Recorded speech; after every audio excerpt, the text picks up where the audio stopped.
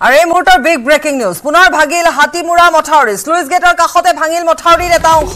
কলঙলৈ হুৰা হুৰে পানী সোমাইছে। মধ্য অসমত ভয়ংকৰ বানপানীৰ ভাবুকি নামি আহিছে। পুনৰ এবাৰ এইখিনিতে উল্লেখ কৰিছো পুনৰ ভাগিল হাতীমূৰা মথাউৰি শ্লুইচ গেটৰ কাষতে ভাঙিল মথাউৰিৰ এটা অংশ। কলঙলৈ হুৰা হুৰে পানী বৈছে মধ্য অসমত ভয়ংকৰ বানপানীৰ ভাবুকি। এফালে ধাৰাসাৰ বৰষুণ জলস্তৰ বৃদ্ধি পাইছে। তাৰ মাজত আন এটা খবৰ আহি পৰিছে। মধ্য অসমলৈ ভাবুকি নামি আহিছে। বানপানীৰ ভাবুকি নামি আহিছে কাৰণ হাতীমূৰা মথাউৰি ভাঙিছে। শ্লুইচ গেটৰ কাষতে ভাঙিল মথাউৰিটোৰ এটা অংশ। কলঙলৈ হুৰা হুৰে পানী বৈছে মধ্য অসমত ভয়ংকৰ বানপানী ভাবুকি নামি আহিছে। আমি কিছু সময় পিছতে আমাৰ সাংবাদিকৰ সৈতে সংযুক্ত হ'ম। আৰু অধিক খবৰ আমি লাভ কৰিম। এই মুহূৰ্তৰ খবৰ পুনৰ এবাৰ কৈছো। উৎপল আছে আমাৰ সৈতে ফোন যোগে নীলোৎপল আছে আমাৰ সৈতে ফোন যোগে সংযুক্ত হয়। নীলোৎপল নিশ্চয় বাপৰি এই মুহূৰ্তত পুনৰ এক যি চিন্তনীয় বিষয়টো হৈছে হাতীমূৰা মথাউৰি যি শ্লুইচ গেট সংযোগী যি পথ আছে যিটো মথাউৰি সেই মথাউৰিৰ তলেৰে কিছু অংশৰে পানী নিগৰিছে আৰু যদি এইদৰে নিগৰি থাকে তেনেহ'লে কিন্তু পুনৰ যি দুহেজাৰ সোতৰ চনত যি ভয়ংকৰ পৰিস্থিতি সৃষ্টি হৈছিলে সেই ভয়ংকৰ পৰিস্থিতি সৃষ্টি হোৱাৰ আশংকা আছে। মই পুনৰ কৈছো যে শ্লুইচ গেট যি কলংপুৰৰ বুৱতী কৰাৰ যি পৰিকল্পনা কৰা হৈছিলে আজি আজি প্ৰায় দুহেজাৰ সোতৰ চনৰ পিছত হাতীমূৰাত মথাউৰি নতুনকৈ নিৰ্মাণ কৰা হৈছিলে কিন্তু তাৰ পিছতে এই নগাঁৱৰ মধ্য অসমৰ বহু সাহিত্যিকে কলংখন পুনৰ বুৱতী কৰাৰ পুনৰ প্ৰাণ চঞ্চলা কৰাৰ বাবে আহ্বান জনাইছিলে। যাৰ পৰিপ্ৰেক্ষিতত শ্লুইচ গেট নিৰ্মাণ কৰি কলঙক নিয়ন্ত্ৰিত ওপৰত বহুৱাই এক পৰিকল্পনা কৰা হৈছিলে কিন্তু সেই পৰিকল্পনা আমি দেখাত কিন্তু সম্পূৰ্ণৰূপে ব্যৰ্থ হৈছে কাৰণ এটা কথা ক'ব লাগিব যে যিখন শ্লুইচ গেট নিৰ্মাণ কৰা হৈছে সেই শ্লুইচ গেটৰ তল- তলেৰে এইকেইদিন যি পানী নিগৰি আছে যাৰ ফলত সমগ্ৰ নগাঁওবাসী শংকিত হৈ আছে। আৰু কলঙৰ যি কলং যি বৰ্তমানলৈকে বুৱতী কৰিব পৰা হোৱা নাই কাৰণ এতিয়াও কলঙৰ কলিয়াবৰৰ পৰা যদি আপুনি চাই তেনেহ'লে মিছালৈকে সম্পূৰ্ণ মেটেকাৰে ভৰি আছে। গতিকে এইসমূহ অঞ্চল চাফা কৰিব লাগিব। কিন্তু যদি এতিয়া মথাউৰি ভাঙি সেই কলঙৰে যদি পানী নিগৰি আহে তেনেহ'লে কিন্তু হাহাকাৰ পৰিস্থিতি সৃষ্টি হ'ব। আৰু যি আপোনাৰ এটা কথা ক'ব লাগিব যে বৰ্তমান যিহেতু কপিলি বা এইসমূহ উপনৈৰো পানী বাঢ়ি আছে গতিকে এনে যদি পৰিস্থিতি হয় তেতিয়াহ'লে কিন্তু কল নগাঁৱত নগাঁৱৰ বিস্তীৰ্ণ অঞ্চল বানত যোৱাৰ আশংকা আছে। আমি পাপৰি আপোনাৰ নিশ্চয় মনত আছে দুহেজাৰ সোতৰ চনত আমি যি হাতীমূৰা মথাউৰি যি ভাঙোতে আমি যি বাতৰি সম্প্ৰচাৰ কৰিছিলো। সমগ্ৰ কলিয়াবৰলৈ এক ভয়াৱহ সংকট নামি আহিছিলে। কিন্তু এইবাৰ কেৱল কলিয়াবৰে নহয় কলিয়াবৰৰ সমীপৱৰ্তী বহু অঞ্চলত কিন্তু তেনে সংকটৰ সৃষ্টি হ'ব যদি এইদৰে যি এই সন্ত্ৰাস অব্যাহত থাকে।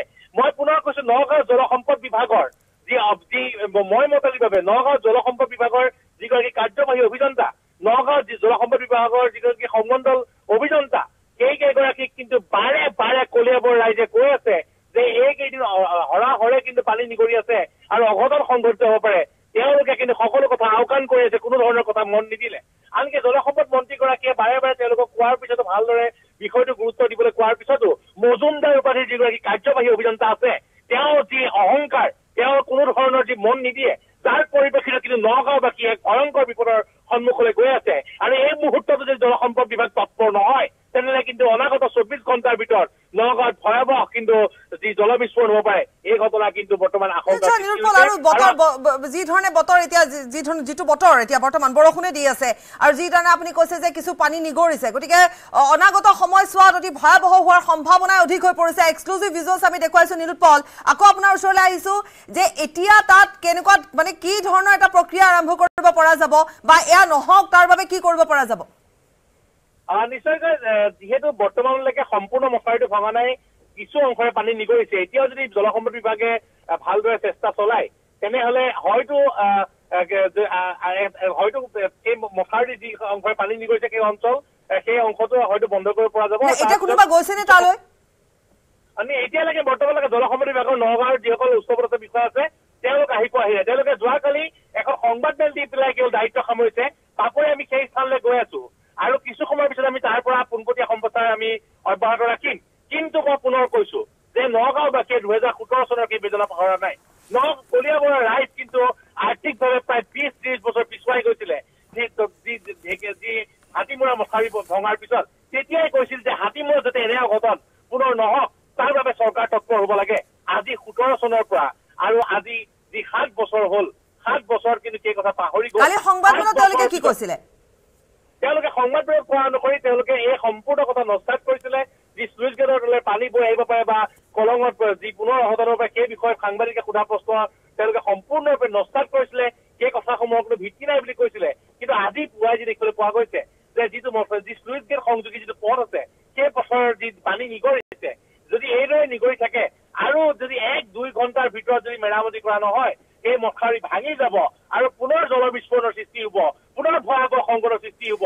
আপুনি আপুনি যিহেতু এই স্থানলৈ বৰ্তমান গৈ আছে এতিয়া এই মুহূৰ্তত আপোনাৰ হাতত কিবা খবৰ আহিছে নেকি যে কোনোবা বিভাগীয় লোক তাত উপস্থিত হৈছেগৈ বা তেওঁলোকে যিহেতু কালি তেওঁলোকে গা এৰা তেওঁলোকে যি মত কৰিলে বা যি ধৰণে গা এৰা এটা মনোভাৱেৰে তেওঁলোকে উত্তৰ দিলে আজি অন্তত তেওঁলোকে চকুৰে দেখিব। গতিকে তেনেকুৱা ধৰণৰ কিবা খবৰ আপোনাৰ হাতত পৰিছে নেকি এতিয়ালৈকে? যে কোনোবা গৈছে কাৰণ এতিয়া দহ বাজি গৈছে একেবাৰে পোৱাৰ সময়ো নহয় যে বোলে উঠা নাই তেওঁলোক যাব পৰা অৱস্থাত নাই। নিশ্চয় নিশ্চয় পাপৰি বৰ্তমানলৈকে তেওঁলোকে উপস্থিত হোৱাগে নাই। এতিয়া নগাঁও জিলাৰ যি আৰক্ষী অধীক্ষকো সেই ঠাইলৈ ৰাওনা হৈছে। নগাঁৱৰ যি উচ্চ পদস্থ বিষয়াসকল ৰাওনা হৈছে হয়তো আৰু পোন্ধৰ বিশ মিনিটৰ ভিতৰত জলসম্পদ বিভাগৰ নিৰুপল আপোনাক ধন্যবাদ জনাইছো। আপুনি আহ, সেই স্থানলৈ এ- আপুনি সেই স্থানলৈ আপুনি যাওক। গতিকে আমি তাৰ পৰা পোনপটীয়া সম্প্ৰচাৰ দেখুৱাম আমি জনাম যে এটা ভয়ংকৰ ভাবুকি নামি আহিছে। শ্লুইচ গেটৰ কাষত মথাউৰি এটা অংশ ভাঙিছে আৰু পানী নিগৰিছে। পুনৰ হাতীমূৰা মথাউৰি ভাঙিছে। আৰু যদিহে যদিহে হাতীমূৰা মথাউৰি এনেধৰণে ভাগে বা এতিয়া নিগৰি পানী বৈছে যদি বেছিকৈ তাৰ পাছত যদি আকৌ সেই তেনেকুৱা ধৰণে দুহেজাৰ সোতৰ চনৰ দৰে পানী বাঢ়ি আহে তেতিয়াহ'লে কিন্তু ভয়ংকৰ ঘটনা ঘটিব। আমি আকৌ এবাৰ কৈছোঁ আৰু এইখিনি স্থান কলিয়াবৰা হাতীমূৰা এই মথাউৰিটো যিটো মথাউৰি দুহেজাৰ সোতৰ চনত ভঙাৰ ফলত যি ধৰণে প্ৰলয়ংকাৰী বান আহিছিল আকৌ এবাৰ তেনেকুৱা ধৰণৰ হোৱাৰ সম্ভাৱনা আছে হুৰা হুৰে যিহেতু পানী বৈছে অৱশ্যে ক'ৰবাত নিগৰিব বুলি ইতিমধ্যে কোৱা হৈছে আৰু নীলোৎপল ঘটনাস্থলীলৈ ৰাওনা হৈছে। আমি কিছু সময় পিছতে পোনপটীয়া সম্প্ৰচাৰ আমি দেখুৱাম আৰু গোটেই ভিজুৱেলছ আমি দেখুৱাম আৰু কালি এখন সংবাদমেলৰ আয়োজন কৰা হৈছিলে য'ত কিন্তু এই গোটেই বিষয়টো নস্বাত কৰা হৈছিলে ভিত্তিহীন বুলি কোৱা হৈছিলে কিন্তু আজি পানী নিগৰি গৈছে এফালে বতৰ ডাৱৰীয়া ধাৰাবাহিক বৰষুণ দি আছে ঠায়ে ঠায়ে জলস্তৰ বৃদ্ধি পোৱাৰ ফলত ঠায়ে ঠায়ে পানী হৈছে। আমি যি ধৰণে বান পৰিস্থিতি বৰ্তমান এই যিটো দ্বিতীয় পৰ্যায়ৰ বান পৰিস্থিতি সেই পৰিস্থিতি আমি দেখুৱাই গৈছোঁ আহাৰমহীয়া বানৰ যিটো পৰিস্থিতি। গতিকে এনেধৰণে যদি থাকে তেতিয়াহ'লে কিন্তু ভয়ংকৰ ঘটনা সংঘটিত হোৱাৰ সম্ভাৱনা এতিয়া অধিক হৈ পৰিছে। মধ্য অসমত ভয়ংকৰ বানপানী ভাবুকি নামি আহিছে। আৰু আমি আকৌ এবাৰ কৈছোঁ যে শ্লুইচ গেটৰ কাষত মথাউৰিৰ এটা অংশ ছিগিছে যাৰ ফলত পানী নিগৰি গৈছে আৰু আকৌ এবাৰ এনেকুৱা ধৰণৰ এটা প্ৰলয়ংকাৰী অৱস্থাৰ সৃষ্টি হোৱাৰ সম্ভাৱনা এতিয়া অধিক হৈ পৰিছে। আমাৰ হাতত এই যিখিনি ভিজুৱেলছ আছে আমি দেখুৱাইছোঁ আমাৰ সাংবাদিক তালৈ গৈ আছে আৰু লগতে আমি দেখুৱাম আমি জনাম যে তাত বিভাগীয় কোন গৈছে প্ৰশাসনৰ লোক কোন গৈছে বা তাত কোনোবা অভিযন্তা গৈছে নেকি? কাৰণ অতি কম সময়ৰ ভিতৰতে যদি মেৰামতি কৰাৰ ক্ষেত্ৰত বা গুৰুত্ব প্ৰদান কৰা নাযায় তেতিয়াহ'লে কিন্তু এটা অতি ভয়ংকৰ এটা সময়লৈ সকলোৱে ৰ'ব লাগিব দেখি কাৰণ আকৌ এবাৰ কৈছোঁ যে প্ৰলয়ংকাৰী বান হ'ব ভয়ংকৰ বানৰ ভাবুকি এতিয়া নামি আহিছে। ছবছৰৰ পূৰ্বে হাতীমূৰা মথাউৰি ছিঙিছিল অৰ্থাৎ দুহেজাৰ সোতৰ চনত। আমি এই মুহূৰ্তত দিবাকৰ দাসৰ সৈতে সংযুক্ত হৈছোঁ। দিবাকৰ। নিশ্চয়কৈ পাপৰি পুনৰ দুহেজাৰ সোতৰ চনৰ পুনৰাবৃত্তি হৈছে। হাতীপুৰা যি চুইচ গেট চুইচ গেটৰ কাষৰে মাথাউৰি ভাঙিছে আৰু মাথাউৰি ভাঙি ব্ৰহ্মপুত্ৰৰ পানী হুৰা হুৰে কলঙলৈ বৈছে আৰু এক আতংকময় পৰিৱেশ সৃষ্টি হৈছে। এ, স্থানীয় ৰাইজ কলংকীয়া ৰাইজ ওলাই আহিছে আৰু হুৰা হুৰে এই মুহূৰ্তত কলঙৰ যি কলঙৰ চুইচ গেটৰ সমীপত যি হাতীমূৰা বান্ধ ভাঙি এই মুহূৰ্তত হুৰা হুৰে পানী বৈছে কলঙলৈ আৰু আতংকিত হৈ পৰিছে কলিয়াবৰীয়া ৰাজ। পাপৰি দিবাকৰ ৰাইজ ওলাই আহিছে ৰাইজ আপুনি কৈছে যে ৰাইজ ওলাই আহিছে। হয় নিশ্চয়কৈ যিহেতু ৰাইজৰ মনত এটা ভয় আছে বিগত অৰ্থাৎ ৰাইজে ৰাইজ আতংকিত এইবাবে হৈ পৰিছে। তেওঁলোকে ছবছৰৰ পূৰ্বৰ যিটো ঘটনা আছিলে তেনেকুৱা ধৰণে তেওঁলোকে এই মুহূৰ্তত তেনেকুৱা হ'ব নেকি বুলি ভাবি ভয় খাইছে? এটা স্বাভাৱিক নিশ্চয়কৈ নিশ্চয়কৈ বাপৰি কিয়নো তেনেকুৱাই ঘটনা হৈছে। কিয়নো এই বিগত কিছুদিন ধৰি পানী বৈ আছে চুইচ গেট নৰঙাকৈ পানী বৈ আছে। কিন্তু বিভাগীয় তৰফৰ পৰা কোৱা হৈছে কালি নিশা মন্ত্ৰীও কৈছে যেন দলঙলৈ চুইচ গেটেৰে পানী বোৱা নাই। এয়া কোনোবা অকমান নি- কাষৰে নিগৰি গৈছে। কিন্তু সেই কাষৰে নিগৰি নিগৰিয়ে হয়তো এই চুইচ গেটৰ কাষৰ মাথাউৰি ভাগিলে আৰু যাৰ ফলত এতিয়া পুনৰ প্লাবিত হ'ব কলিয়াবৰৰ বিস্তীৰ্ণ অঞ্চল যিহেতু কলঙত এই মুহূৰ্তত কলঙত মানে জলস্তৰ দিবাকৰ নিগৰি নিগৰি যেতিয়া বৈছিলে সেই কথাখিনি তেওঁলোকৰ দৃষ্টিগোচৰ কৰাও হৈছিলে। কিন্তু তাৰ পিছতো নিশ্চয়। তেওঁলোক আহিছিল নে চাবলৈ পৰীক্ষা কৰিবলৈ আহিছিলে য'ত এতিয়া এনেধৰণে ভাঙিব লগা হ'ল? অ, নিশ্চয় তেওঁলোকে এই- এই বিগত কিছুদিন ধৰি মাথুৰি হাতীমূৰা মাথাউৰিটো আছে। কালি আমি তেওঁলোকৰ বিষয়ৰ পৰা মন্ত্ৰী দিবাকৰ আমি গোটেইখিনি কথা আকৌ এবাৰ জানিম। আপোনাৰ সৈতে পুনৰ সংযুক্ত হ'ম। আপুনি লাইনতে থাকক। আমি এইখিনি এটি চমু বাণিজ্যিক বিৰতি ল'ম।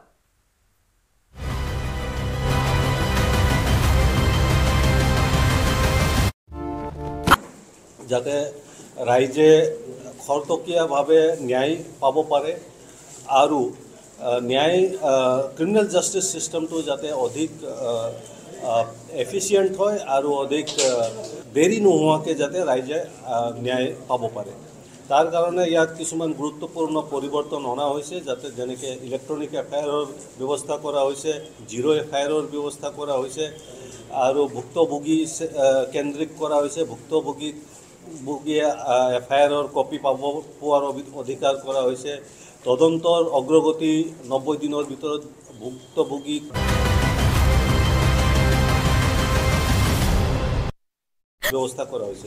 হয় হাবিত লুকাই দুধৰ্ষ উগ্ৰপন্থীয়ে কৰা কুটাঘাতমূলক ঘটনাৰ অভিযুক্ত আৰক্ষীৰ জালত নপৰিলেও বিচাৰ প্ৰক্ৰিয়া চলিব আদালতত। পিছে একাংশ জ্যেষ্ঠ অধিবক্তাই সমালোচনা কৰিছে নতুন আইন ব্যৱস্থা। পিছে সমগ্ৰ আৰক্ষী আৰু ন্যায় ব্যৱস্থাত ঘটা এই আইন পৰিৱৰ্তনক আদৰিবলৈ সাজু দেশবাসী। সাধাৰণ জনতাৰ ন্যায় ব্যৱস্থাত কেনে সুফল আহে সেয়া আগন্তুক দিনত প্ৰতিফলিত হ'ব। গুৱাহাটীৰ পৰা Dipankar Das news eighteen Assam north east.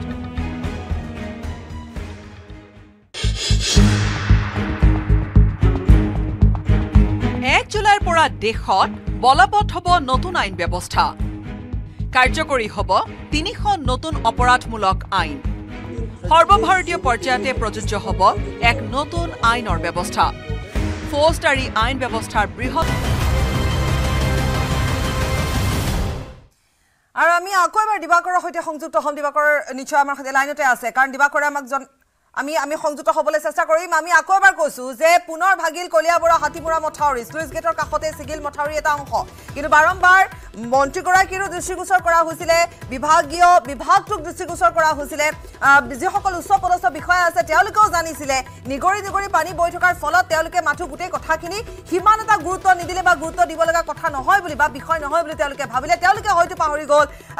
আজি ছবছৰৰ পূৰ্বৰ যিখিনি যিটো জলপ্ৰলয় সেই কথা হয়তো তেওঁলোকে পাহৰি গ'ল। আৰু সেইবাবে হয়তো তেওঁলোকে ইমান এটা গুৰুত্ব প্ৰদান নকৰিলে। দিবাংকৰ দিবাকৰৰ সৈতে সংযুক্ত হৈছে লাইভত আছে দিবাকৰ। দিবাকৰ আহিছো।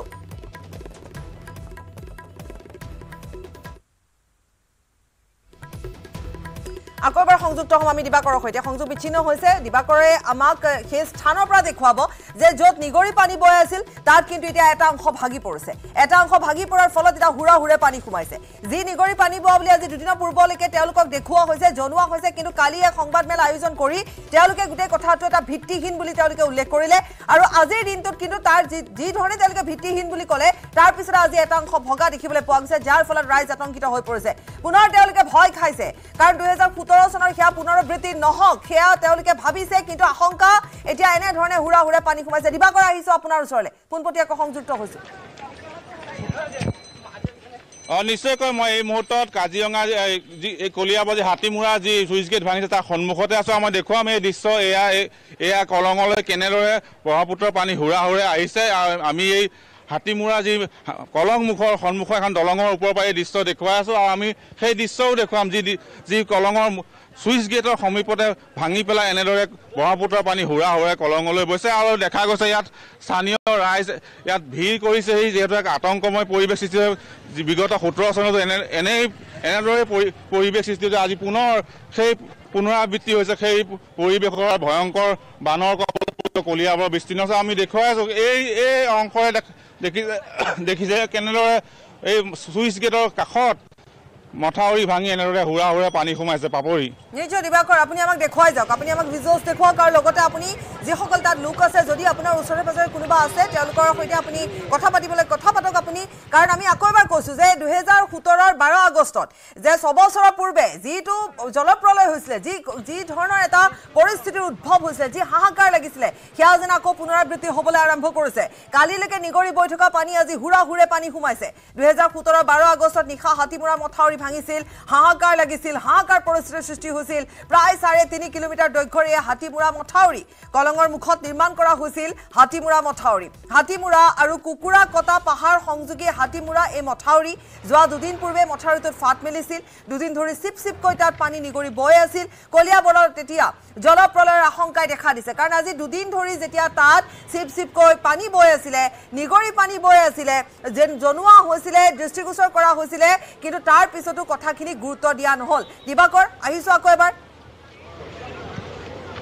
হয় নিশ্চয়কৈ আমি এই মুহূৰ্তত দেখুৱাই আছোঁ সেই হাতীমূৰা যি কলঙৰ চুইচ গেটৰ কাষদি কিদৰে ম- মাথাউৰি ভাঙি হুৰা হুৰে পানী কলঙলৈ বৈছে আৰু দেখা গৈছে বিগত কিছুদিন ধৰি এনেদৰে চুইচ গেটৰ যেতিয়া সন্মুখত চুইচ গেট নিৰ্মাণৰ পূৰ্বে চুইচ গেটৰ সন্মুখত এটা অস্থায়ী বান্ধ দিয়া হৈছিল। সেই বান্ধটো মুখ্যমন্ত্ৰী যেতিয়া দখলা মণ্ডলে আহিছিলে সেইদিনা মুখ্যমন্ত্ৰীক দেখুৱাবলৈকে বান্ধ কাটি পানী এৰি দিয়া হৈছিল আৰু পানী আহি চুইচ গেটত খুন্দা মাৰিছিল আৰু চুইচ গেটৰ তলে ওপৰেদি পানী নিগৰি কলং প্লাৱিত ভৰ্তি হৈছিল কলঙত কলং বুৱতি হৈছিল। কিন্তু তাৰপিছত ক্ৰমান্বয়ে ব্ৰহ্মপুত্ৰৰ জলস্তৰ বৃদ্ধি হোৱাৰ পিছতে এই যি হাতীমূৰা আগত ব্ৰহ্ম- পানীৰ উচ্চতা বৃদ্ধি পাইছে তাৰপিছত কালি দুদিন ধৰি এনেদৰে পানী বৃদ্ধি হৈছে আৰু অৱশেষত আজি পুৱাৰ ভাগত এইদৰে হাতীমূৰা যি চুইচ গেট চুইচ গেটৰ কাষৰ অংশ ভাঙি এনেদৰে কলঙলৈ হুৰা হুৰে পানী সোমাই আছে। স্থানীয় লোক আছে আতংকিত হৈছে। আমি তেওঁলোকৰ মতামত ল'বলৈ চেষ্টা কৰিম। কি দেখিছে? পানী হুৰা হুৰে আহিছে। আপোনালোকে নিজেই দেখিছে। কেনেকুৱা ভয় লাগিছে নেকি? আকৌ আক- আগৰ পৰিৱেশ হ'ব নেকি? আপোনাৰ দে- কেনেকুৱা? পানী কি- কিদৰে আহিছে? বানপানী পুৰা স্পীডত আহি আছে। জোৰকে আহি আছে। আকৌ বানপানী হ'ব নেকি কলিয়াবৰত হ'ব লাগে বানপানী হৈ যাব পাৰে। বহু লোক আছে তাত আপুনি তেওঁলোকৰ ভাষ্য সংগ্ৰহ কৰিব। আমি আকৌ এবাৰ কৈছো যে ছবছৰৰ সেই ঘটনাৰ পুনৰাবৃত্তি হ'ব নেকি সেই হাহাকাৰ সেই জলপ্ৰলয় গতিকে ৰাইজে ভয় খাইছে। আমি আপোনাৰ ওচৰলৈ যাম আপুনি থাকিব লাইনতে সময় বিৰতিৰ হৈছে।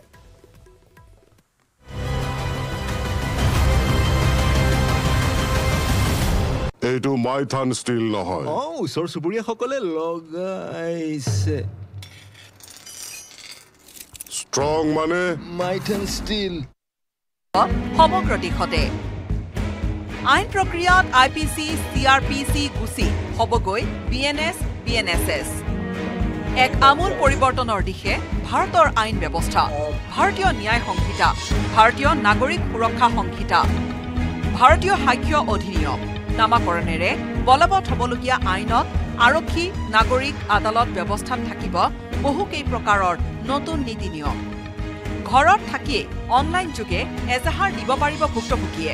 প্ৰতিটো গোচৰৰ তদন্তত আৰক্ষীৰ বাধ্যতামূলক হ'ব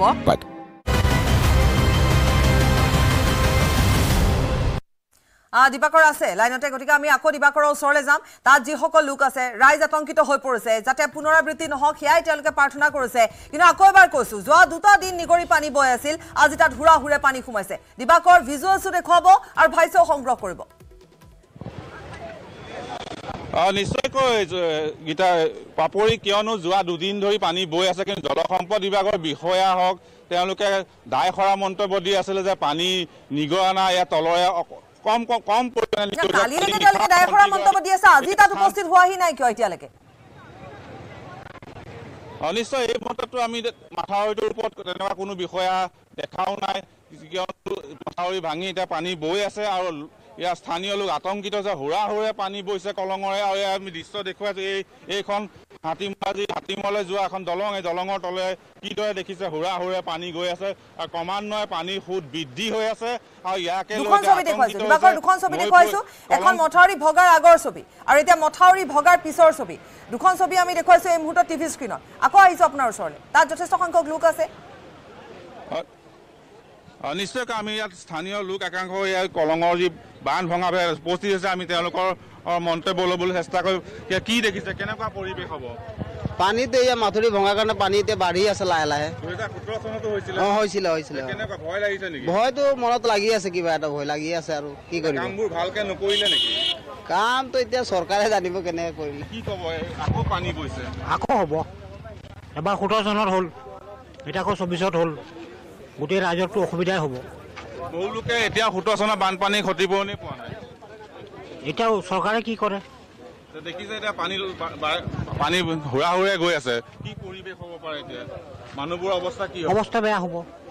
নিশ্চয়কৈ এনেদৰে বিভিন্নজনে মত প্ৰকাশ কৰিছে যে সোতৰ চনৰ বানপানী পুনৰাবৃত্তি হৈছে আৰু পুনৰ এক হাহাকাৰময় পৰিস্থিতি সৃষ্টি হ'ব কলিয়াবৰ লগতে নগাঁও জিলা সমগ্ৰ নগাঁও জিলাতে। কিয়নো কলঙৰে হুৰা হুৰে পানী গৈয়ে আছিল বিগত দুদিন ধৰি আৰু এতিয়া অধিক হাৰত পানী বৈছে আৰু তাকে লৈ এতিয়া আতংকিত হৈ পৰিছে স্থানীয় লোক আৰু ইয়াত একাংশ লোক সমবেত হৈছে এই দৃশ্য চাবলৈ আমি স্থানীয় কিছু লোক আছে মন্তব্য দেখিছে কলং পুনৰ কলঙলৈ পানী বৈছে হাতীমূৰা মুখ ভাঙি কি ক'ব?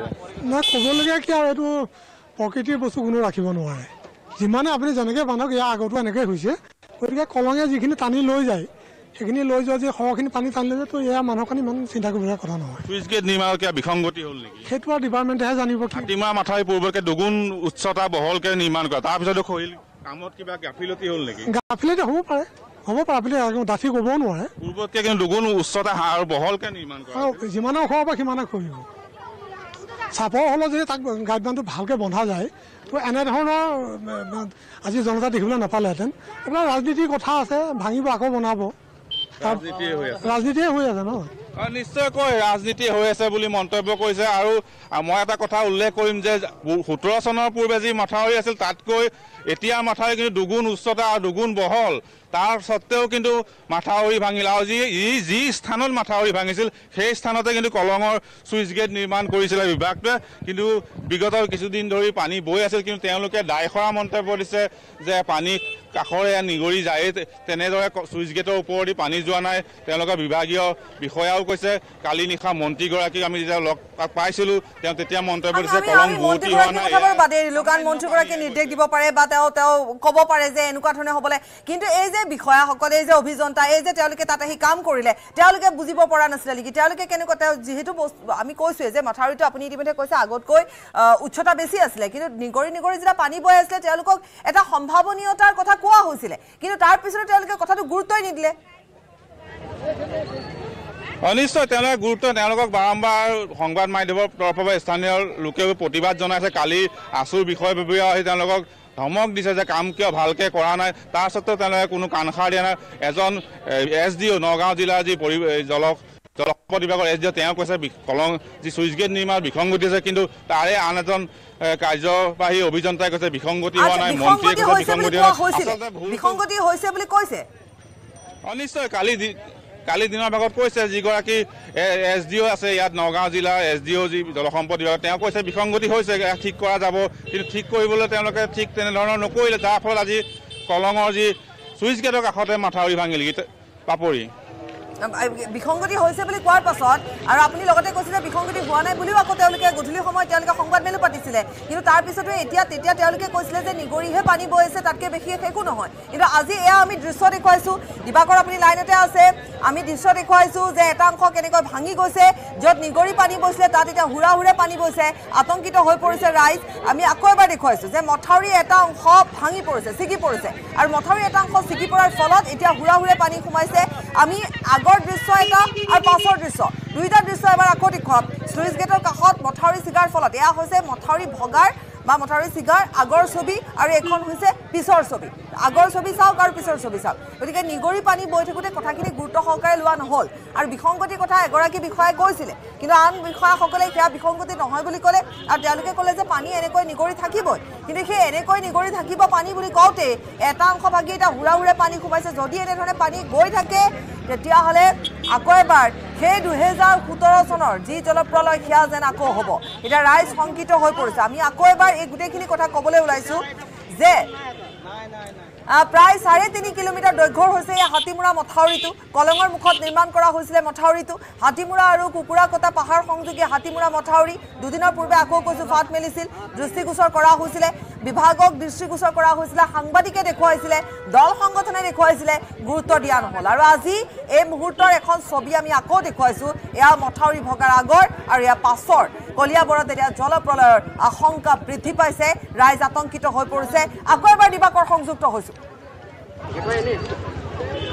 হয় নিশ্চয়কৈ যিহেতু যি কলং বুৱতীকৰণৰ বাবে এশ পঁয়ত্ৰিছ কোটি টকা ধাৰ্য কৰা আছিল কলঙৰ মুখত হাতীমূৰত চুইচ গেট নিৰ্মাণ লগ- লগতে কলিয়াবৰ হাতীমূৰত মিছালৈকে কলং খনন আৰু পৰিষ্কাৰ কৰাৰ কথা আছিল। কিন্তু কলং খনন মাত্ৰ তিনি তিনি কিলোমিটাৰ কৰিয়েই তেওঁলোকে পানী এৰি দিলে যাৰ ফলত কলং প্লাৱিত হৈছিল। আৰু তাৰ লগতে যি মাথাউৰি নিৰ্মাণত হয়তো বিসংগতি হৈছিল যাৰ ফলত এনেদৰে মাথাউৰি ভাঙি চুইচ গেটৰ কাষতে মাথাউৰি ভাঙি আজি কলং প্লাৱিত হৈছে। আৰু হুৰা হুৰে হুৰা হুৰে পানী পানী বৈ আছে আৰু এই মুহূৰ্তত দেখা গৈছে যে ক্ৰমান্বয়ে জলপৃষ্ঠ বৃদ্ধি হৈছে আৰু ন ন অঞ্চল প্লাৱিত হৈছে। মানুহৰ ঘৰ দুৱাৰ এতিয়া বানৰ কবলত পৰিব আৰু যি হাতীমূৰা যি ভগ্ন মাথাউৰি দি সৰু হুৰা হুৰে কিন্তু ব্ৰহ্মপুত্ৰৰ পানী এই মুহূৰ্তত আহি আছে আৰু ৰাইজ আতংকিত হৈ পৰিছে। আচলতে দেখা গৈছে কামখিনি ৰাইজক সন্তুষ্ট কৰিবলৈ কৰি থোৱা হ'ল। তেনেকৈ বুজিম এতিয়া আমি। অ, নিশ্চয়কৈ তেওঁলোকে সঠিকভাৱে এটা এশ পঁয়ত্ৰিশ কোটি টকা। আছিলে যিমানখিনি কৰিব লগা আছিলে সেয়া তেওঁলোকে নকৰিলে। বাজেটৰ কথা আপুনি ইতিমধ্যে ক'লে। গতিকে ইমানখিনি নকৰি অন্তত এতিয়া যিটো দেখিবলৈ পোৱা গ'ল যে কম সময়ৰ ভিতৰত ঠাউকতে কামখিনি কৰি ৰাইজৰ দৃষ্টিগোচৰো কৰিলে প্ৰশংসাৰ পাত্ৰও হ'ল আৰু সন্তুষ্টও হ'ল। আৰু এতিয়া এতিয়া এটা ভাবুকি নামি আহিছে। হয় নিশ্চয়কৈ তেওঁলোকে মানে চৰকাৰ ঢাক ঢোল বজাবলৈ কলং বহুতীকৰণৰ প্ৰকল্প লৈছিল ঢাক ঢোল ঢাক ঢোল বজাবলৈ এই কাম কৰিছে। কিয়নো যিহেতু কলঙৰ যি চুইচ গেট চুইচ গেট নিৰ্মাণৰ সময়ত সন্মুখত এটা অস্থায়ী বান্ধ দি লৈছিল। সেই বান্ধ দি লৈ পেলাই এই কলঙৰ চুইচ গেট নিৰ্মাণ কৰি আছিল। তাৰপিছত কলং খননৰ কাম আজি এমাহ ধৰি হৈ আছে কিন্তু তিনি চাৰি কিলোমিটাৰ কলং খনন খনন হ'ল। কিন্তু তাৰপিছত বাকী অংশ চাফ চিকুণ নকৰাকৈ হঠাৎ কলঙৰ এই মুখত থকা যি হাতীমাৰ চুইচ গেটৰ সন্মুখত থকা যি অস্থায়ী বান্ধটো কাটি দিলে আৰু মন্ত্ৰী আহিছিল মুখ্যমন্ত্ৰী আহিছিল জখলামত মুখ্যমন্ত্ৰীকে বহুতি কলং দেখুৱাবলৈ হয়তো বিভাগীয়ভাৱে নিৰ্দেশ দিয়া হ'ল। কলঙৰ চুইচ গেটৰ সন্মুখত যি অস্থায়ী বান্ধ সেই বান্ধ কাটি দিলে। কাটি দিয়াৰ পিছতে পানী কলঙৰ চুইচ গেটত খুন্দা মৰা তাৰপিছৰ পৰা নিগৰি নিগৰি পানী কলঙলৈ বৈ আছে। অৱশেষত এই পানীৰ পৰিমাণ বৃদ্ধি হৈছে ব্ৰহ্মপুত্ৰৰ পা- জলস্তৰ বৃদ্ধি হোৱাৰ লগে লগে কলঙৰে হুৰা হুৰে পানী কলঙলৈ বৈছে আৰু এই মুহূৰ্তত হাতীমূৰা মাথাউৰি ভাঙি পুনৰ আকৌ আকৌ যাম। আপোনাৰ। ওচৰলৈ এই কথাখিনি আমি আকৌ পাতিম। আমি সেই ভিজুৱেলছটো দেখুৱাইছোঁ। এয়া কৈছোৱে আমি যে মথাউৰি ভগাৰ পূৰ্বৰ দৃশ্য। যেতিয়া পানী এনেধৰণে আহি আছিলে নিগৰি আছিলে পানীয়ে যেতিয়া শ্লুইচ গেটত খুন্দা মাৰিছিলে তেতিয়া নিগৰি নিগৰি যেতিয়া পানী ওলাইছিলে তেতিয়া দৃষ্টিগোচৰ কৰা হৈছিলে। কাৰণ তাত থকা ৰাইজে জানে বা যেতিয়া তাত তেওঁলোকে খবৰ দিছিলে দল সংগঠন উপস্থিত হৈছিলে তেওঁলোকেও চাইছিলে আৰু তেওঁলোকে পানীৰ সৈতে যিহেতু সহবাস কৰি অহা লোক গতিকে তেওঁলোকে ভালকৈ জানিছিলে যে কি হ'বগৈ পাৰে। গতিকে এই গোটেই কথাখিনি তেওঁলোকে জনাইছিল বিভাগক জনাইছিল। আনকি বিভাগৰ জৰিয়তে বা সংবাদ মাধ্যমৰ জৰিয়তে মন্ত্ৰীগৰাকীয়েও দৃষ্টিগোচৰ হৈছিল। কিন্তু মন্ত্ৰীগৰাকীকো তেওঁলোকে বিভাগে আনকি এনেধৰণে কৈ থলে যে এয়া সাধাৰণতে হয় একো ডাঙৰ কথা নহয়। কিন্তু আজি যেতিয়া যেতিয়া নিগৰি পানী বোৱাৰ সলনি আজি যিটো ঘটিল আমি আজিৰ যিটো দৃশ্য দেখুৱাইছোঁ যে মথাউৰি ছিগিল এটা অংশ এতিয়া তাত হুৰা হুৰে পানী সোমাইছে। গাফিলতিবোৰ ক'ত ক'ত হৈছে? আমি আকৌ কৈছোঁ যে ৰাইজক সন্তুষ্ট কৰিবলৈ প্ৰশংসাৰ পাত্ৰ হ'বলৈ যিমানখিনি কৰিব লাগিছিল সেয়া নকৰি ঠাউকতে কামখিনি কৰি এতিয়া এয়া এটা যেন এটা দুৰৱস্থাৰ সন্মুখীন হ'বলৈ ৰাইজ এতিয়া ৰৈ থাকিব লগা হৈছে। দিবাকৰ আকৌ আহিছোঁ আপোনাৰ ওচৰলৈ। হয় নিশ্চয়কৈ যি ধৰণে যি বৃহৎ পুঁজি ধাৰ্য কৰি এই প্ৰকল্প লোৱা হৈছিল সেই তাৰ তেনে কাম কিন্তু কৰা পৰিলক্ষিত নহ'ল। কিয়নো পূৰ্বতকৈ দুগুণ উচ্চতা বহলকৈ মাথাউৰি নিৰ্মাণ কৰা হ'ল। তাৰপিছত দুহেজাৰ ঊনৈছ চনত এই প্ৰকল্প লোৱা হ'ল কলং বহুতীকৰণৰ বিছ চনৰ ত্ৰিছ অক্টোবৰত।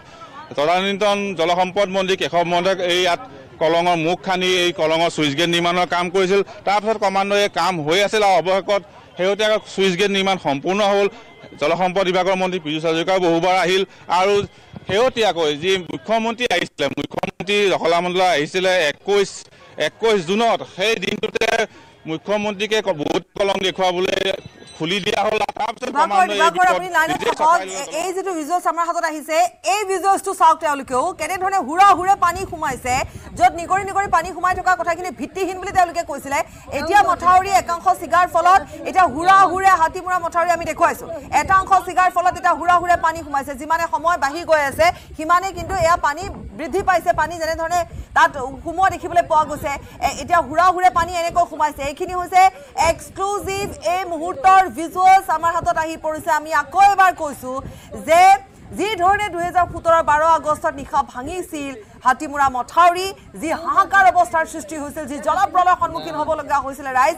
আৰু য'ত আমি আকৌ এবাৰ কৈছোঁ নিৰুৎপলে কোৱাৰ দৰে যে আৰ্থিক দিশতো ৰৈ গৈছিল গোটেই কথাখিনি ৰৈ গৈছিলে এটা সময় ৰৈ গৈছিলে কাৰণ তাৰপিছত ছবছৰৰ পিছত আকৌ যেন সেয়াই হ'বলৈ লৈছে। এয়া দেখুৱাইছোঁ আমি য'ত যি ধৰণে এটা হাহাকাৰ পৰিস্থিতিৰ উদ্ভৱ হৈছিলে ৰৈ গৈছিলে এক প্ৰকাৰ আৰ্থিক দিশতে হওক বা অন্যান্য দিশতে হওক খেতি বাৰীৰ ক্ষেত্ৰতে হওক পুনৰ এবাৰ তেওঁলোকে তাৰ ক্ষতিপূৰণ পৰ্যন্ত তেওঁলোকে নাপালে। আজিলৈকে একাংশই এতিয়াও ক্ষতিপূৰণ পোৱাই নাই। গতিকে যিখিনি অনিষ্ট হ'ল সেইখিনি ক্ষতিপূৰণ হোৱাই নাই আজিলৈকে। আৰু এইবাৰ আকৌ দেখিবলৈ পোৱা গৈছে প্ৰায় একে এটা পৰিস্থিতি হ'বলৈ যেন গৈ আছে। কলিয়াবৰৰ হাতীমূৰা মথাউৰিৰ একাংশ এয়া ছিগাৰ ফলত এতিয়া হুৰা হুৰে পানী সোমাইছে। মধ্য অসমত এতিয়া ভয়ংকৰ বানপানীৰ ভাবুকি নামি আহিছে। ঠিক ছবছৰৰ পূৰ্বে হাতীমূৰা মথাউৰি দুহেজাৰ সোতৰ চনৰ বাৰ আগষ্টত ভাঙিছিল আৰু তাৰপিছত যি হাহাকাৰ অৱস্থাৰ সৃষ্টি হৈছিল যি প্ৰলয় নামি আহিছিল সেই যি অনিষ্ট হৈছিল তাৰ ক্ষতিপূৰণ এতিয়াও বহু ৰাইজে পোৱাই নাই। বহুখিনি পিছ পৰি গৈছিল সেইখিনি ৰাইজ। আৰু আজি যেন আকৌ এবাৰ সেইখিনি পুনৰাবৃত্তি হ'বলৈ গৈ আছে। দিবাকৰ আকৌ আহিছোঁ আপোনাৰ ওচৰলৈ। নিশ্চয়কৈ গীতাশ্ৰী আমি এই মুহূৰ্তত পুনৰ দেখুৱাইছোঁ সেই ভগ্ন ভগ্ন অংশ। যি ক্ৰমান্বয়ে সেই ভগ্ন অংশ বাঢ়ি গৈ আছে আৰু পানী হুৰা হুৰে কলঙলৈ বৈ আছে। অসংখ্য লোক আহিছে কলঙৰ এই ভয়াৱহ দৃশ্য চাবলৈ। বহু লোক ইয়ালৈ আহিছে আৰু এইটো দেখুৱাই আছোঁ আমি কিদৰে পানী এইদৰে আহি আছে কলঙলৈ। আৰু এই যি জলপৃষ্ঠ কলঙলৈ ক্ৰমান্বয়ে বৃদ্ধি হৈ আছে। ইয়াত আৰক্ষী প্ৰশাসনৰ লোক গীজ গিজাই থকা দেখা ঘূৰি ফুৰা দেখা গৈছে। মহকুমা প্ৰশাসনৰ লোকো আহিছে জলসম্পদ বিভাগৰ লোকো ইয়াত ঘূৰি থকা দেখিছোঁ। আৰু কালি নিশাৰ ভাগত প্ৰশাসনে এটা নিৰ্দেশনা জাৰি কৰিছিল যে হাতীমৰা চুইচ গেটৰ সন্মুখত কোনো লোকে গেডাৰিং কৰিব নোৱাৰিব। যে তেওঁলোকৰ বিসংগতিবিলাক যে ওলাই পৰিব সেইকাৰণে কালি নিশাৰ ভাগত এনেধৰণে নিৰ্দেশনা জাৰি কৰিছিল ইয়াৰ স্থানীয় প্ৰশাসনে। কিন্তু পুৱাৰ ভাগত এনেদৰে এই হাতীমৰা আৰু যাৰ ফলত সমগ্ৰ কলিয়াবৰ প্লাৱিত হ'ব আৰু ঘৰ দুৱাৰ এতিয়া নিৰাপদ স্থানলৈ বহু লোকে আঁতৰি গৈছে বহু লোক আহি হাতীমৰা এই স্থানত আহি উপস্থিত হৈছে। ইয়াত স্থানীয় লোক বহু আছে আমি তেওঁলোকৰ পৰা কিছু মতামত ল'বলৈ চেষ্টা কৰোঁ। আপুনি ইয়াৰে নেকি? পানী এতিয়া? বৰ্তমান এতিয়া সেই চুইট গেট দিছে বাৰু ঠিকেই কিন্তু সেই কলং নিচিনা নদীৰ নিচিনা সেইটো ওপৰৰ ফালে বনাব নেলাগিছিলে। কিন্তু সেই কলংটো আহি পেলাই মানে পানীটো আহি মানে ঝাটকা পাই সেয়া কলং চাফা নকৰাকৈ পানী এৰি দিছে? কলং চাফা কৰিছিলে মানে আধাখিনি কৰিছিলে তাৰপিছত আধাখিনি নাই কৰা আৰু। মানুহবিলাক অৱস্থা? এতিয়া সেয়া ভয়তে আৰু অকস্মাত তেনেকুৱা পানী অকস্মাত আহি গ'ল এতিয়া আশ্ৰয়টো ল'ব লাগিব মানুহ ওখ জেগা। নিশ্চয়কৈ বহু ইয়াৰ স্থানীয় কলংপৈ আৰু ৰাইজ আতংকিত হৈ পৰিছে আৰু দেখা গৈছে হুৰা হুৰে পানী বৈ আছে আৰু এই মুহূৰ্তত কিন্তু ইয়াত ইয়াত যি আৰক্ষী প্ৰশাসনৰ লোক ঘূৰি ফুৰা দেখা গৈছে কিন্তু তেওঁলোকে কি ব্যৱস্থা লৈছে কেনেকুৱা ধৰণৰ উদ্ধাৰ অভিযান চলাব বা বানপানীৰ ফলত মানুহক কেনেকে উদ্ধাৰ কৰিব সেয়া পৰৱৰ্তী সময়তে গম পোৱা যাব। কিন্তু এই মুহূৰ্তত দেখা গৈছে তেওঁলোকৰ ওচৰলৈ তেওঁলোক তালৈ যে আহিছে তেওঁলোকে কি ভাবি আহিছে বা কি কৰিম বুলি ভাবিছে নে পানী চাবলৈ আহিছে নে তেওঁলোকে জনাবলৈ আহিছে অকণমান যদি আপুনি কাষলৈ যায় আপুনি যোৱা সময়খিনি মই এই ভিজুৱেলছখিনি আমাৰ দৰ্শকসকলক আকৌ এবাৰ দেখুৱাই দিছোঁ। যে এয়া হৈছে আমি কেইবাটাও দৃশ্য আপোনালোকক দেখুৱাম। যে যিটো আমি আকৌ এবাৰ কৈছোঁ যে যি ধৰণে দুহেজাৰ সোতৰ চনত ঘটিছিল ঠিক তেনেকুৱা এটা হ'বলৈ যেন গৈ আছে ৰাইজ আতংকিত হৈ পৰিছে। ৰাইজে তাত ৰৈ চাইছে। আকৌ কৈছোঁ যে এইসকল লোক যিহেতু পানীৰ সৈতে তেওঁলোক থকা লোক সহ অৱস্থান কৰা লোক তেওঁলোকে জানে তেওঁলোকে জানে কলঙক জানে তেওঁলোকে কলঙক বুজে তেওঁলোকে গতিকে কি হ'বলৈ গৈ আছে তেওঁলোকে এয়া পূৰ্বতেও দেখিছে। গতিকে এইবাৰ যেতিয়া শ্লুইচ গেট নিৰ্মাণ কৰা হৈছে এটা আশা পোৱা গৈছে এটা আশা প্ৰকাশ কৰা হৈছে আৰু যিহেতু কলঙক আকৌ বৰ্তি কৰা কৰা হৈছিলে প্ৰশংসাৰ পাত্ৰ হৈছিলে চৰকাৰখন বিভাগটো প্ৰশংসাৰ পাত্ৰ হৈছিলে। কিন্তু এতিয়া কথাবোৰ লাহে লাহে ওলাই পৰিছে যে কলংখন যিমান চাফা কৰিব লগা আছিলে নকৰিলে চাৰিওফালে মেটেকাই থাকি গ'ল এটা অংশ কৰিলে অৰ্থাৎ কম সময়ৰ ভিতৰতে এই যে ঢাক ঢোল বজোৱা বুলি কোৱা হয়। এই যে তেওঁলোকে প্ৰশংসাৰ পাত্ৰ হ'ব লাগিব যে কলঙক আকৌ বোৱতী নৈ কৰিলে। এই যে আমি আমি আমি যে খুব প্ৰশংসা কৰিলোঁ আমি দেখুৱালোঁ সেইসমূহ দৃশ্য দেখুৱালোঁ বাহ বাহ গোটোৱা হ'ল। কিন্তু এই যে ঠাউকতে তেওঁলোকে যিমানখিনি সময় লাগিছিলে সময় নলয় কম সময়ৰ ভিতৰত এয়া কৰি এই এই যি ছবি ছবি দেখুৱালে তেওঁলোকে যি ৰাইজক সন্তুষ্ট কৰাৰ তেওঁলোকে যিটো চেষ্টা কৰিলে এয়া সকলো ফুটুকাৰ ফেন। এই মুহূৰ্তত দেখুৱালোঁ আমি যে এই কেইদিন দিয়া এই চাৰিদিন দিয়া নেৰানেপেৰা বৰষুণ জলস্তৰ বৃদ্ধি আৰু তাৰ ফলত নিগৰি পানী ওলোৱাৰ পিছতো তেওঁলোকে কিন্তু ভিত্তিহীন বুলি ক'লে। সংবাদ মাধ্যমৰ বাতৰি ভিত্তিহীন ৰাইজৰ কথা ভিত্তিহীন নিগৰি পানী ববই বুলি ক'লে আৰু আজি মথাউৰি এটা অংশ ছিগি এতিয়া হুৰা হুৰে পানী সোমাইছে। আমি সেই পানীৰ দৃশ্য আকৌ এবাৰ আপোনালোকক দেখুৱাম। এয়া মথাউৰিটো ভগাৰ দৃশ্য। আৰু পানী কেনেকৈ পানী হুৰা হুৰে পানী সোমাইছে সেয়াও দেখুৱাম। এই যে হাহাকাৰ পৰিস্থিতিৰ সৃষ্টি হৈছিল আজি ছবছৰৰ পূৰ্বে যি জলপ্ৰলয় হৈছিল ছবছৰৰ পূৰ্বে তাৰ আশংকাত এতিয়া ৰাইজে ইয়ালৈ আহিছে। তেওঁলোকে চাইছে তেওঁলোকে তেওঁলোকে নিজে এই কথাখিনি ভালকৈ তেওঁলোকে ভালকৈ জানে যে কি ধৰণে বনাব লাগিছিলে কি কি ধৰণে নিৰ্মাণ কৰিব লাগিছিলে ক'ত গাফিলতি ৰৈ গ'ল ক'ত ভুল ৰৈ গ'ল। কাৰণ আকৌ কৈছোঁ যে কলঙক তেওঁলোকে জানে তেওঁলোকে বুজে। গতিকে কেনেকুৱা হ'ব পাৰে কি হ'ব পাৰে তেওঁলোকে জানিছিল। কিন্তু এটা ব্যাগুম বিভাগ যেতিয়া তাত থাকিব তাত আৰু ক'ব লগা একো নাথাকে ৰাইজৰ। গতিকে আকৌ এবাৰ এইখিনিতে কৈছোঁ যে নহওক তেনেকুৱা আৰু খুব কম সময়ৰ ভিতৰতে কিবা এটা ব্যৱস্থা গ্ৰহণ কৰিব পৰা যদি অৱস্থা থাকে তেতিয়াহ'লে তেনেকুৱা এটা পৰিৱেশ সৃষ্টি নহওক যি আজি ছবছৰ পূৰ্বে হৈছিলে। কেইবাটাও ভিজুৱেলছ আমাৰ হাতত আছে আৰু তাত প্ৰশাসনৰ লোক আহি উপস্থিত হৈছে বুলি দিবাকৰে কৈছে। গতিকে দিবাকৰক দিবাকৰ ইতিমধ্যে আগবাঢ়িছে। তেওঁলোকে কি ক'ব? তেওঁলোকে ভাষ্য গ্ৰহণ কৰিব। তেওঁলোকে কি ক'ব সেয়া আমি জনাই যাম। এয়া মথাউৰি ভগাৰ দৃশ্যও আহি পৰিছে। আমাৰ হাতত বহুকেইটা দৃশ্য আহিছে। এতিয়া এয়া আমি দেখুৱাই গৈছোঁ। মথাউৰি ভগাৰ দৃশ্য।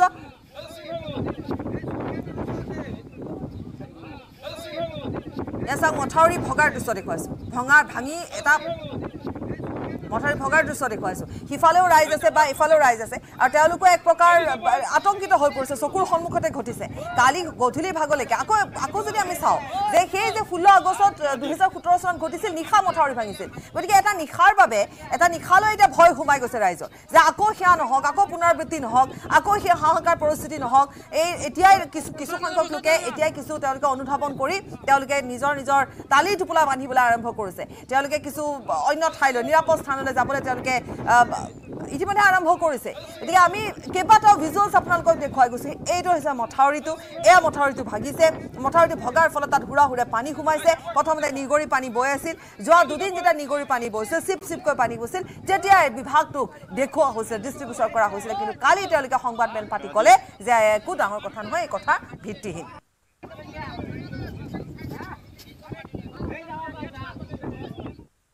আৰু এই খবৰ আমি অব্যাহত ৰাখিম সময় বিৰতি।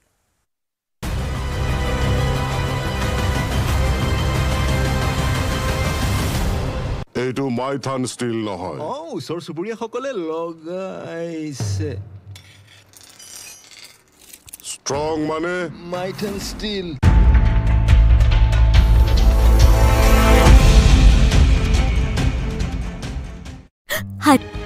পক্সৰ গোচৰৰ তদন্তৰ গতিয়ে লাভ কৰিব ক্ষিপ্ৰতা। তৃতীয় লিংগৰ লোকো অন্তৰ্ভুক্ত হৈছে এই নতুন আইনত। কেৱল ইমানেই নহয় নতুন আইন ব্যৱস্থাত বিদেশত থকা অভিযুক্তৰ বিৰুদ্ধে তদন্ত চলাব পাৰিব আৰক্ষীয়ে।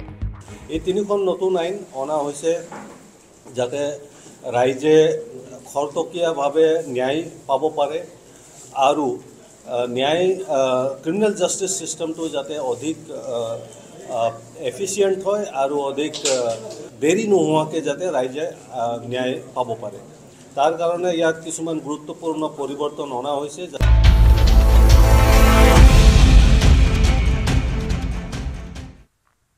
জলপ্ৰলয়ৰ আশংকাত ভুগিছে এতিয়া কলংপুৰীয়া ৰাইজ আমি আকৌ যাম আমি ঘটনা যিটো যি স্থান তাত আমাৰ সাংবাদিক দিবাকৰ আছে আমি সেইসমূহ দৃশ্য দেখুৱাইছোঁ যিখিনি আমাৰ হাতত এক্সক্লুজিভ ভিজুৱেলছ আহিছে এতিয়াৰ ভিজুৱেলছ আহিছে। হুৰা হুৰে পানী সোমাইছে এয়া দেখুৱাইছোঁ মথাউৰি এটা অংশ ভাগিছে এটা অংশ ভাগিছে হুৰা হুৰে পানী সোমাইছে পানী সোমাইছে বৃদ্ধিও পাইছে আৰু ৰাইজ আতংকিত হৈ পৰিছে পুনৰাবৃত্তি নহওক সকলোৱে তাকে আশা কৰিছে আৰু সমান্তৰালভাৱে কিছুসংখ্যক লোকে ইতিমধ্যে তালি টোপোলা বান্ধিছে। দিবাকৰ আহিছোঁ।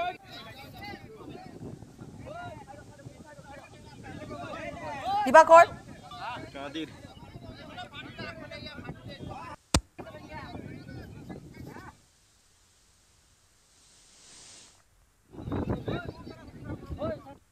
দিবাকৰৰ সৈতে সংযুক্ত হ'ম আমি।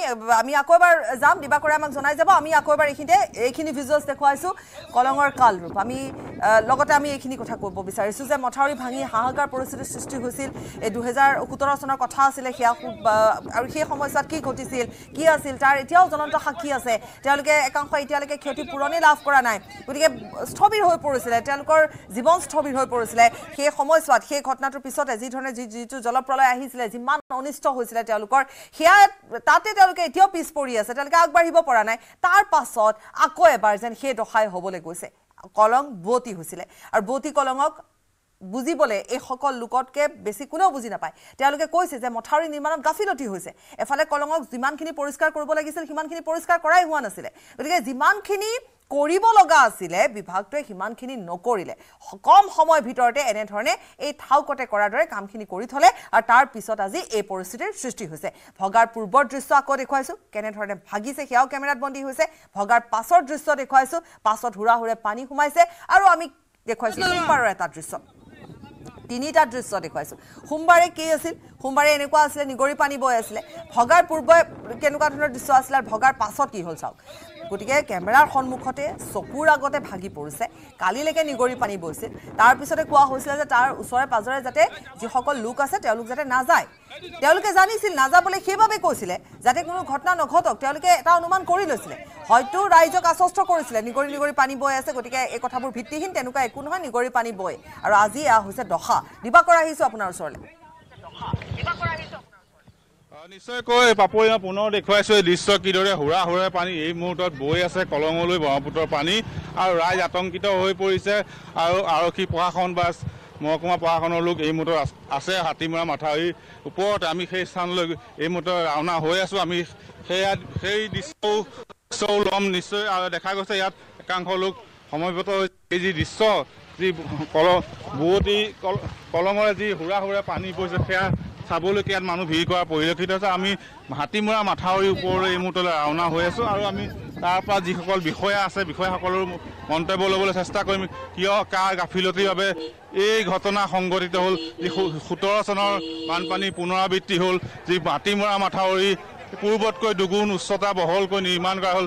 তাৰপিছত কিয় পুনৰ আকৌ হাতীমৰা মাথাউৰি ভাঙিল বা আকৌ পুনৰ কিয় কলিয়াবৈ ৰাইজক বানৰ এই ভয়ংকৰ পৰিস্থিতিলৈ ঠেলি দিলে বিভাগটোৱে সেয়া উত্তৰ আমি ল'বলৈ চেষ্টা কৰিম আৰু আমি এই মুহূৰ্তত হাতীমৰাৰ সেই ভগ্ন স্থানলৈ ৰাওনা হৈছোঁ আৰু আমি দেখুৱাই আছোঁ কিদৰে ক্ৰমান্বয়ে সমগ্ৰ অঞ্চল প্লাবিত হৈছে দাঁতি- হাতীমূৰা দাঁতি কাষৰীয়া অঞ্চল প্লাবিত হৈ আছে আৰু ক্ৰমান্বয়ে কলিয়াবৰ বিস্তীৰ্ণ এলেকালৈ এই বানপানী বিয়পি গৈ আছে আৰু ভয়ংকৰ পৰিৱেশৰ পুনৰাবৃত্তি হ'বলৈ গৈ আছে আৰু হুৰা হুৰে পানী এই মুহূৰ্তত বৈ আছে কলঙলৈ ব্ৰহ্মপুত্ৰৰ যি ব্ৰহ্মপুত্ৰৰ যি মুখত থকা হাতীমূৰা চুইচ গেটৰ মাথাউৰি ভাঙি এই মুহূৰ্তত দেখা গৈছে হুৰা হুৰে পানী বৈ আছে পাপৰি। দিবাকৰে আমাক দৃশ্য দেখুৱাইছে দিবাকৰে আমাক দেখুৱাইছে দাঁতি কাষৰীয়া অঞ্চলত ইতিমধ্যে পানী লাহে লাহে পানী সোমাইছে। পানী আহ, দাঁতৰ দাঁতি কাষৰীয়া যিবোৰ অঞ্চল আছে সেইসমূহত ইতিমধ্যে এই পানী লাহে লাহে যেন বিয়পি গৈছে। গতিকে তাত যথেষ্ট সংখ্যক লোকৰ ঘৰ দেখিবলৈ পোৱা গৈছে। তেওঁলোকো এতিয়া তালৈ আহিছে আতংকিত হৈ পৰিছে। তেওঁলোকে ভাষ্য দিছে যে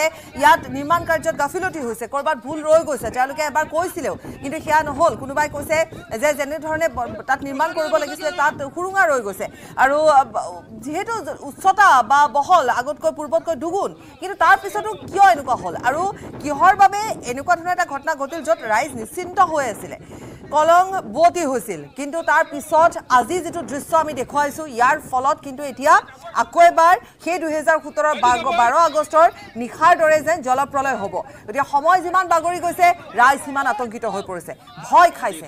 যিসকল লোক তেওঁলোকে চাবলৈ আহিছে। সময় বাগৰি যোৱাৰ লগে লগে যি ধৰণে চকুৰ সন্মুখতে শ্লুইচ গেটৰ এই অংশটো ভাঙি পৰিছে মথাউৰি ভাঙি পৰিছে এই মথাউৰিটো ভাঙি পৰাৰ ফলত তাত যেনেকৈ এতিয়া হুৰা হুৰে পানী সোমাইছে। যিখিনি পানী আজি দুদিনৰ পূৰ্বে যদি চোৱা যায় তাত কিন্তু নিগৰি পানী বৈ আছিলে। কম কমকৈ পানী বৈ আছিলে সেইবাবে তেওঁলোকক অৱগত কৰোৱা হৈছিলে। দৃষ্টিগোচৰ কৰা হৈছিলে বিভাগটোক দেখুওৱা হৈছিলে মন্ত্ৰীগৰাকীয়েও আনকি তেওঁলোকেও আনকি জানিছিল তেওঁকো জনোৱা হৈছিলে। দুদিনৰ পূৰ্বে যেতিয়া ফাট মেলিছিল সেই ফাট তেওঁলোকে বাৰম্বাৰ দেখুৱাইছিলে। কিন্তু প্ৰশাসনে কোনো ব্যৱস্থা গ্ৰহণ নকৰিলে। আনকি ব্যৱস্থা গ্ৰহণ নকৰিলেও আৰু কালিৰ দিনটোতো তেওঁলোকে যি ধৰণে উপাইটেং মৰা কথা ক'লে যে সেয়া আচলতে সাধাৰণ এটা কথা পানী নিগৰি গৈছে এনেকৈ পানী বয়। আৰু আজি মথাউৰি ভাগিল আৰু পানী এতিয়া হুৰা হুৰে তাত সোমাইছে। আমি আকৌ এবাৰ যদি মথাউৰিটোৰ কথা কওঁ যে দুদিনৰ পূৰ্বে মথাউৰিত ফাট মেলাৰ পিছতো বাৰম্বাৰ জনোৱাৰ পিছতো কোনো ধৰণৰ গুৰুত্ব প্ৰদান কৰাই নহ'লে। প্ৰশাসনে ব্যৱস্থাই গ্ৰহণ নকৰিলে আনকি গোটেই বিষয়টোৱে তেওঁলোকে এটা ভিত্তিহীন বিষয় বুলি কৈ দিলে। ঊনৈছশ বাষষ্ঠি চনত এই হাতীমূৰা নিৰ্মাণ হৈছিলে।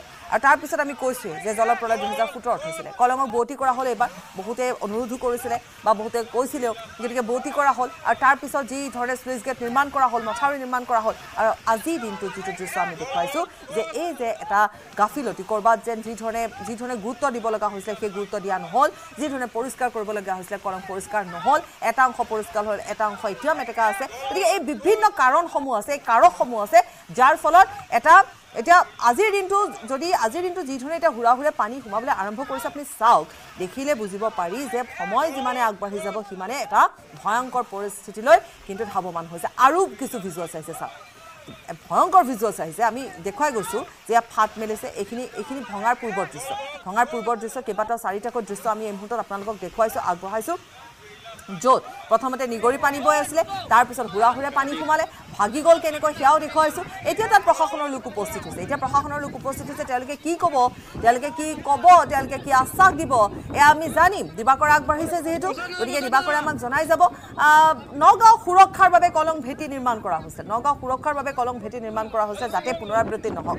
কেশৱ মহন মন্ত্ৰীগৰাকী উপস্থিত হৈছে। গতিকে গতিকে আমি মাথাউৰিটো ভাঙিছে। মই ৰাতিপুৱা ইয়ালৈ নটা বজাৰ ভিতৰত আহিছিলোঁ তেতিয়া কোনো ভঙাৰ কোনো লক্ষণ দেখা নাই। ৱাটাৰ ৰিচোৰ্চৰ মানুহ যোৱা ৰাতিৰ পৰা নহয় যোৱা কালিৰ পৰাই পূৰাকৈ ইয়াত আছে। কিন্তু এইটো যিটো ভাঙিছে তেওঁলোকৰ মতে এইটো তলেদি পানী গৈ পেলাই যিটো বুৰবুৰণি মাৰে তেনেকৈ গৈ পেলাই ভাঙিছে। গতিকে ওপৰততো গোটেইখিনি ঠিকে আছিল। গতিকে এতিয়া যিখিনি আমি ব্যৱস্থা ল'ব লাগে ল'ম আৰু। নহয় নহয় ভুলটো মানে এতিয়া মাথাউৰিটো চব জেগাতে ভাগি আছে। মাথাউৰিটোৰ ভগাটোৰ ক্ষেত্ৰত ক'ত টেকনিকেল যদি কথা আছে এতিয়া যদি ছুইচ গেটখন ভাগিলেহেঁতেন আমি ক'লোহেঁতেন যে নতুনকৈ বনাইছে কিবা তাত ডিফেক্ট থাকি গ'ল সেইকাৰণে ভাঙিছে। এতিয়া মাথাউৰিটোৰ ক্ষেত্ৰতো মাথাউৰি সকলো জেগাতে আমি ভাগি থকা দেখিছোঁ। বোকাখাটত ভাঙিছে এতিয়া মাজুলীত ভাগিছে। গতিকে পানীৰ কেতিয়াবা প্ৰেছাৰত মাথাউৰি ভাগে। গতিকে তথাপিও এই মাথাউৰিটো আজি কেইবছৰমান আগতে নিৰ্মাণ কৰা হৈছিল। গতিকে মাথাউৰিৰ ষ্ট্ৰেংথটো পূৰা আছিল। তাৰপিছত মাথাউৰিটো কেনেকৈ ভাগিল সেই বিষয়টো নিশ্চয় ইয়াৰ এনকুৱাৰী হ'ব। ঠিকাদাৰী কিবা ঠিকাদাৰত গাফিলতি নেকি? ঠিকাদাৰৰ গাফিলতিটো মই সেইবুলি নকওঁ। ঠিকাদাৰৰ কথা নহয়। গতিকে ইয়াত যদি কিবা কাৰিকৰী কথা আছিল গতিকে এইখিনি এনকুৱাৰী কৰিলে আমি জানিব পাৰিম। উদ্ধাৰ অভিযান প্ৰত্যেকটো এখন এখন ৰেভিনিউ গাঁৱত একো একোজন অফিচাৰ ইতিমধ্যে দিয়া হৈছে। তেওঁলোকে এখন এখন গাঁৱৰ সকলো কথা পৰ্যবেক্ষণ কৰিব। নিশ্চয়কৈ বাপুৰি আমি দেখুৱালো যে হাতীমৰাৰ এই ভগ্ন মাথাউৰি স্থানীয় বিধায়ক তথা মন্ত্ৰী কেশৱ মহন্ত এই মুহূৰ্তত পৰিভ্ৰমণ কৰিছে আৰু যি এই মাথাউৰি ভগাৰ ফলত যি বানপানী হ'ব তাৰ উদ্ধাৰ অভিযানৰ বাবে ব্যৱস্থা কৰা বুলি তেওঁ উল্লেখ কৰিছে। কিন্তু এই মুহূৰ্তত দেখা গৈছে হাতীমৰা সেই মাথা ভগ্ন মাথাউৰিত অসংখ্য লোক আহিছে। বিভিন্ন লোক আহিছে তেওঁলোকে চাইছে কিদৰে হাতীমৰা মাথাউৰি ভাগিল আৰু দেখা গৈছে প্ৰশাসনৰ লোকো ইয়াতো আছে। কিন্তু কি এতিয়া বানপানী যিহেতু বানৰ কবৰ সমগ্ৰ কলিয়াবৰ পৰিব কলংপৰীয়া ৰাইজ পৰিব কেনেদৰে উদ্ধাৰ অভিযান চলায় বা ৰাইজক কেনেদৰে কি ধৰণে আশ্বাস দিব বা উদ্ধাৰ চলা উদ্ধাৰ অভিযান চলাব সেয়া আমি পৰৱৰ্তী সময়ত দেখুৱাম। কিন্তু এই মুহূৰ্তত আমি এই ভগ্ন মাথাউৰি অংশতে আছোঁ। আমি সেই ভগ্ন মাথাউৰি দৃশ্য পোনপটীয়াকৈ দেখুৱাম আৰু আমি এই মুহূৰ্তত ভগ্ন মাথাউৰি আহি পাইছোঁ। আমি কিছু মুহূৰ্তৰ পিছতে সেই দৃশ্য দেখুৱাবলৈ সক্ষম হ'ম। আৰু দেখা গৈছে ইয়াত আৰক্ষী প্ৰশাসনৰ লোক আছে। আৰু ইয়াত যিহেতু অসংখ্য লোক সমবেত হৈছে নিয়ন্ত্ৰণ কৰিবলৈ আৰক্ষী লোক ইয়াত ভিৰ কৰা দেখা গৈছে। আৰু দেখুৱাইছোঁ এই স্থানতেই এই হাতীমৰা মাথাউৰি ভগ্ন স্থান আমি দেখুৱাইছোঁ।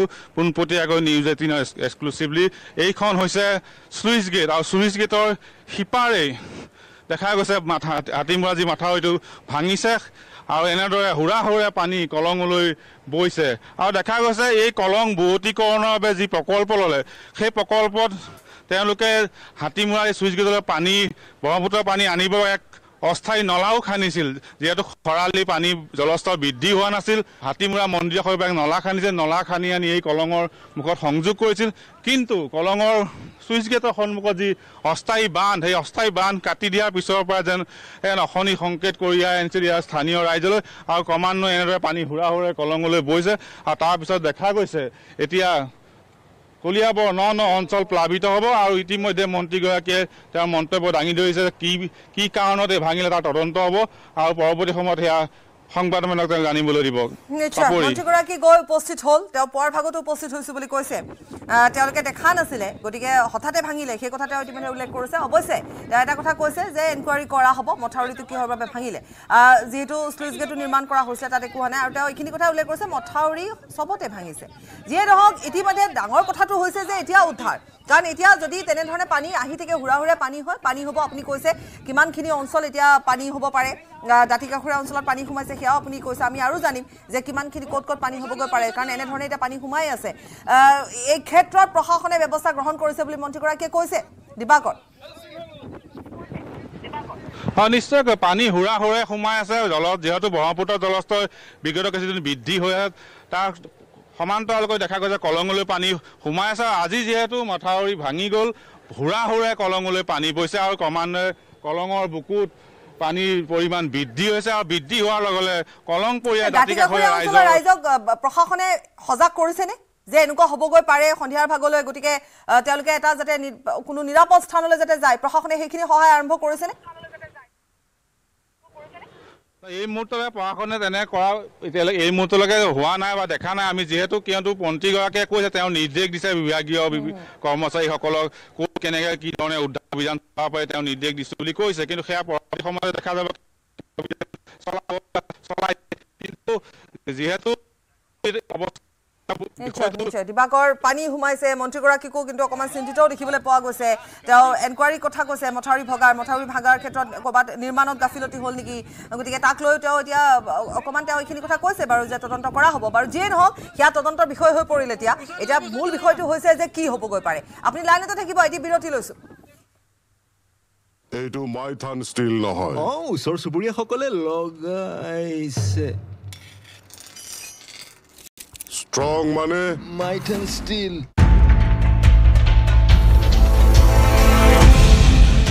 ইলেক্ট্ৰনিক এফআইআৰৰ ব্যৱস্থা কৰা হৈছে জিৰ' এফআইআৰৰ ব্যৱস্থা কৰা হৈছে আৰু ভুক্তভোগী কেন্দ্ৰিক কৰা হৈছে ভুক্তভোগী ভোগীয়ে এফআইআৰৰ কপি পাব পোৱাৰ অধি- অধিকাৰ কৰা হৈছে তদন্তৰ অগ্ৰগতি নব্বৈ দিনৰ ভিতৰত ভুক্তভোগীক জনোৱাৰ ব্যৱস্থা কৰা হৈছে।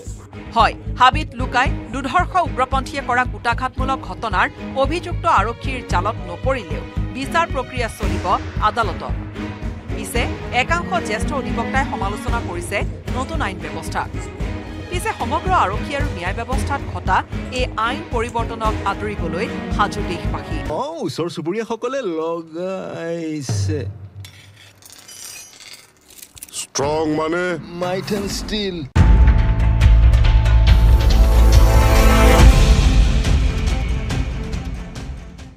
উভতি আহিছো বিৰতিৰ পাছত হাতীমূৰা মথাউৰি ভাগিল। হুৰা হুৰে পানী সোমাইছে। কলঙৰ বোৱতীৰ যি প্ৰকল্প লোৱা হৈছিলে তাৰ পাছত ক'ত কি মথাউৰি নিৰ্মাণৰ ক্ষেত্ৰত গাফিলতি হ'ল কিছু এক্সক্লুচিভ ভিজুৱেলছ আহিছে আমি দেখুৱাইছোঁ।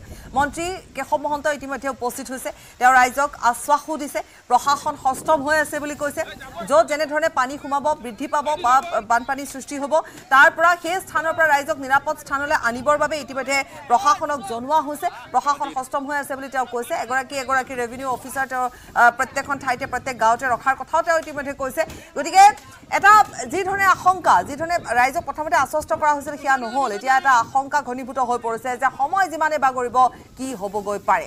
দুদিনৰ পূৰ্বে মথাউৰিত যেতিয়া ফাট মেলিছিল কালি নিশাৰ ভাগতো তেওঁ কৈছে যে বিভাগৰ লোকে কালি নিশালৈকে আছিল তেওঁলোকেও দেখিছিল কিন্তু এনেকুৱা হ'বগৈ বুলি ভবাও নাছিলে বা এনেধৰণে হঠাৎ ভাঙি পৰিব বুলি তেওঁলোকে ভবা নাছিলে। বাৰু যিয়ে নহওক কিন্তু ভাঙিব বুলি যিসকল লোকে তেওঁলোকক দৃষ্টিগোচৰ কৰিছিল তেওঁলোকে কিন্তু জানিছিল। তেওঁলোকে কলঙক বুজি পায় তেওঁলোকে জানে ইমান দিনে দেখিছে।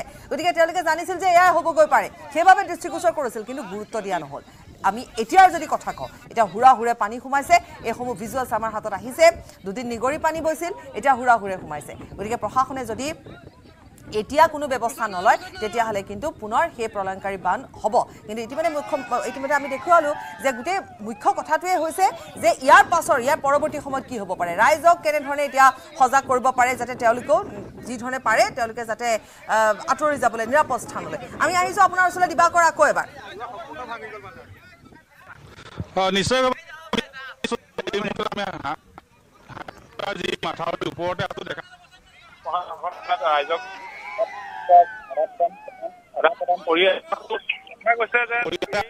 দেখা গৈছে যেন এই স্থানতে ইয়াত দেখুৱাইছো মই পূৰ্বেও আমি এই স্থানৰ ভিজুৱেল প্ৰেৰণ কৰিছোঁ যে কিদৰে কলংখন বুৱতী আছিল। কিন্তু এই মুহূৰ্তত চাওক কলঙৰ দাঁতি কাষৰ সকলো অঞ্চল প্লাবিত হৈছে। ইয়াত কলং মুখৰ পৰা পানী ক্ৰমান্বয়ে উচ্চ হাৰত গৈ আছে কলঙলৈ।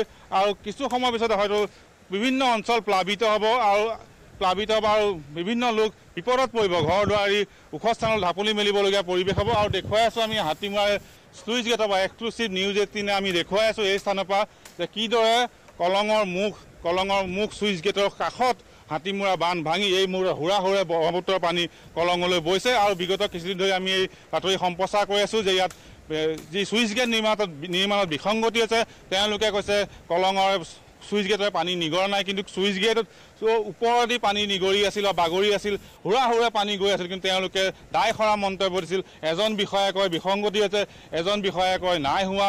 মন্ত্ৰীয়ে কয় চিন্তা কৰিবলগীয়া কথা নাই।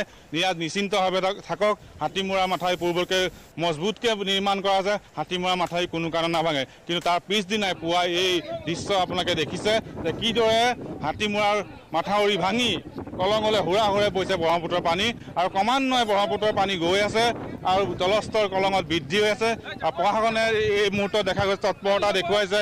উদ্ধাৰ অভিযানৰ বাবে বিভিন্ন স্থানলৈ গৈছে আৰু বিভিন্ন বিষয়াক নিৰ্দেশ দিছে মন্ত্ৰীগৰাকীয়ে যে উদ্ধাৰ অভিযান চলাব লাগে। কিন্তু আমি এতিয়া আমি কিমান সময়ৰ পৰা আমি যিহেতু আমি এতিয়া প্ৰায় এঘণ্টা ধৰি লাইভ কৈ আছো। গতিকে পানীৰ স্তৰ এতিয়া বৃদ্ধি পাইছে। আৰু যি ধৰণে এতিয়া প্লাৱিত হোৱা অঞ্চলসমূহ আমি যদি ভাবোঁ যে সেই সময়ৰ পৰা কম যিখিনি দাঁতিকাষৰীয়া অঞ্চল আছিল তাত এতিয়ালৈকে চাগে সময় আগবঢ়াৰ লগে লগে বহু অঞ্চল হয়তো প্লাৱিত হৈ পৰিছে। কোন কোন অঞ্চল প্লাৱিত হৈ পৰিছে? দিবাকৰ। নিশ্চয়কৈ আমি ধৰক যি আমি এই স্থানলৈ যি পথেৰে বাইকখন লৈ আহিছিলোঁ হয়তো সেই পথ এতিয়া পানীৰ তলত বুৰ গৈছে হয়তো আমি বিভিন্ন আমি এই স্থানলৈ ওলাই যাবলৈ হয়তো পৰৱৰ্তী সময়ত সমস্যাত পৰিব পাৰোঁ কিয়নো পানী ক্ৰমান্বয়ে বৃদ্ধি হৈ আছে আৰু ন ন অঞ্চল প্লাৱিত হৈ আছে। যিবোৰ পথ আছে হাতীমূৰা মাথাউৰিলৈ আহিব পৰা বা হাতীমূৰা অঞ্চললৈ আহিবলৈ যিবোৰ পথ আছে সেই পথ কিন্তু প্লাৱিত হ'ব বা পানীৰ তলত বুৰ যাব আৰু ন ন অঞ্চললৈ প্লাৱিত হৈ আছে আৰু আমি সেই স্থানলৈ যাম যি যি অঞ্চলৰ বানে ক্ষতিগ্ৰস্ত কৰিব সেই স্থানৰ পৰা আমি পোনপটীয়াকৈ দেখুৱাম। কিন্তু এই মুহূৰ্তত আমি হাতীমূৰাৰ এই মাথাউৰি ভগ্ন অংশত আছোঁ আৰু দেখুৱাই আছোঁ ইয়াত।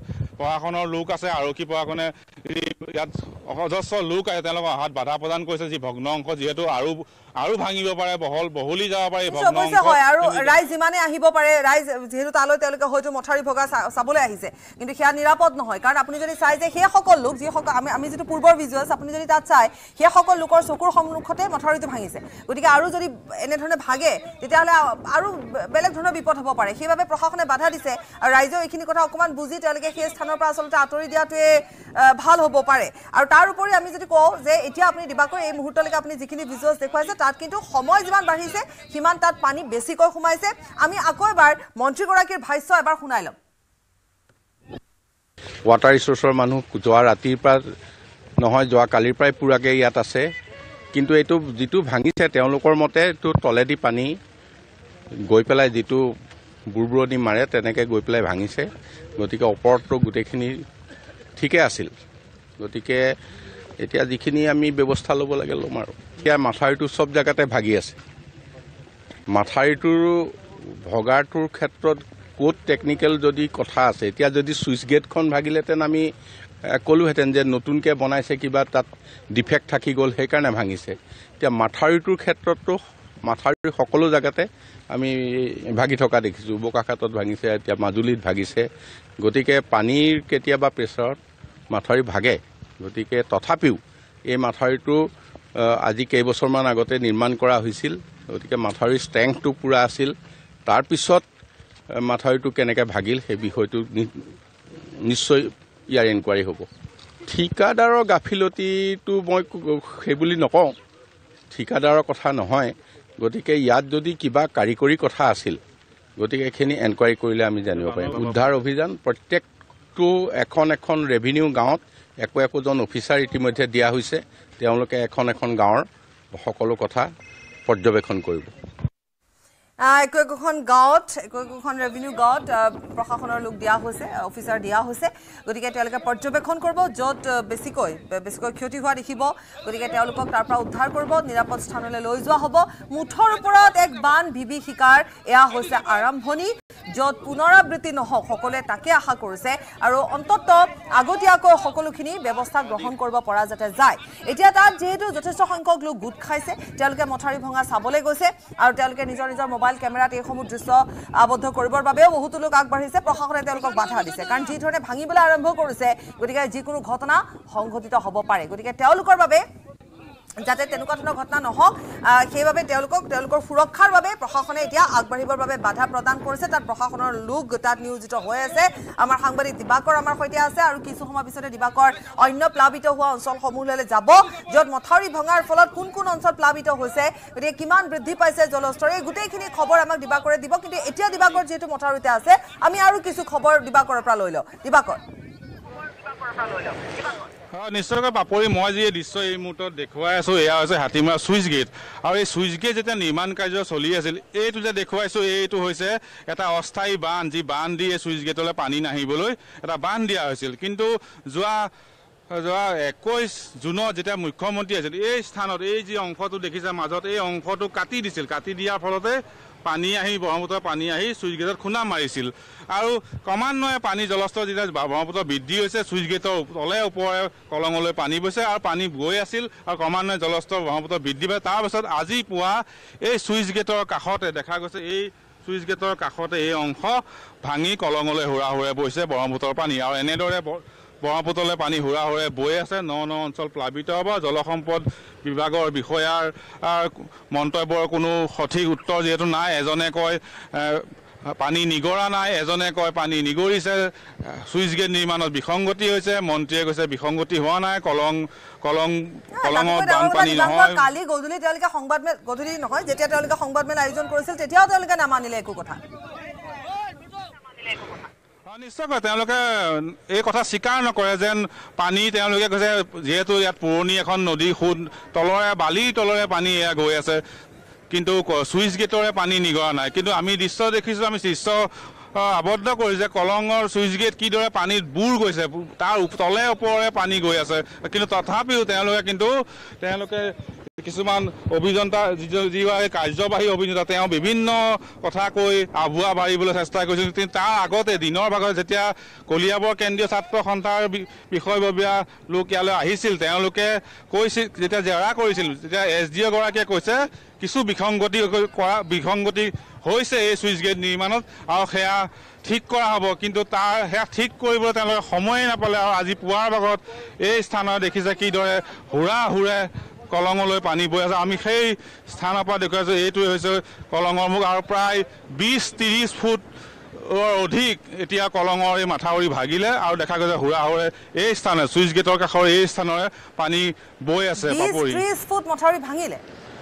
এতিয়ালৈকে। হয় নিশ্চয়। এয়া দেখুৱাইছোঁ। আমি এয়া একেবাৰে কাষৰ পৰা এই ভয়ংকৰ দৃশ্য আমি দেখুৱাই আছোঁ। এই নিউজ এইটিনত এক্সক্লুচিভলি লাইভত দেখুৱাই আছোঁ। এই স্থানত এয়া হৈছে কলঙৰ চুইচ গেট আৰু চুইচ গেটৰ লগতে আমি এয়া চাওঁ এই চাওক কিমান বহলকৈ এই পানী মাথাউৰি ভাঙি বৈ আছে আৰু ক্ৰমান্বয়ে আৰু ফাট মেলি আছে যি মাথাউৰি। কিন্তু আৰু অংশ হয়তো বহলি যাব পাৰে। আৰু এই মুহূৰ্তত আমি চুইচ গেটৰ পৰা দেখুৱাইছোঁ। এইখন হৈছে চুইচ গেট যি চুইচ গেট নিৰ্মাণত বিসংগতিৰ বাবে আজি এনে এক ঘটনা ঘটিল। নিৰ্মাণৰ বিসংগতি মানিয়ে লোৱা নাই মন্ত্ৰীগৰাকীয়ে। তেওঁ কৈছে যে তাত একো হোৱাই নাই যিহেতু অথচ আপোনালোকে যিহেতু আগতীয়াকৈ তেওঁলোকক কোৱাও হৈছিলে যে ওপৰেদি যেতিয়া পানী বৈ আছিলে নিগৰি নিগৰি গতিকে পূৰ্বৰে পৰা তেওঁলোকক জনোৱা হৈছিলে। জনোৱাৰ পিছতো তেওঁলোকে গুৰুত্ব সহকাৰে নল'লে। এতিয়া কালি নিশাৰ ভাগতো বোলে তাত প্ৰশাসনৰ লোক আছিলে। তেওঁলোকেও ধৰিবই নোৱাৰিলে একো। আৰু আজি পুৱাৰ ভাগত এই দৃশ্য দেখিবলৈ পোৱা গ'ল।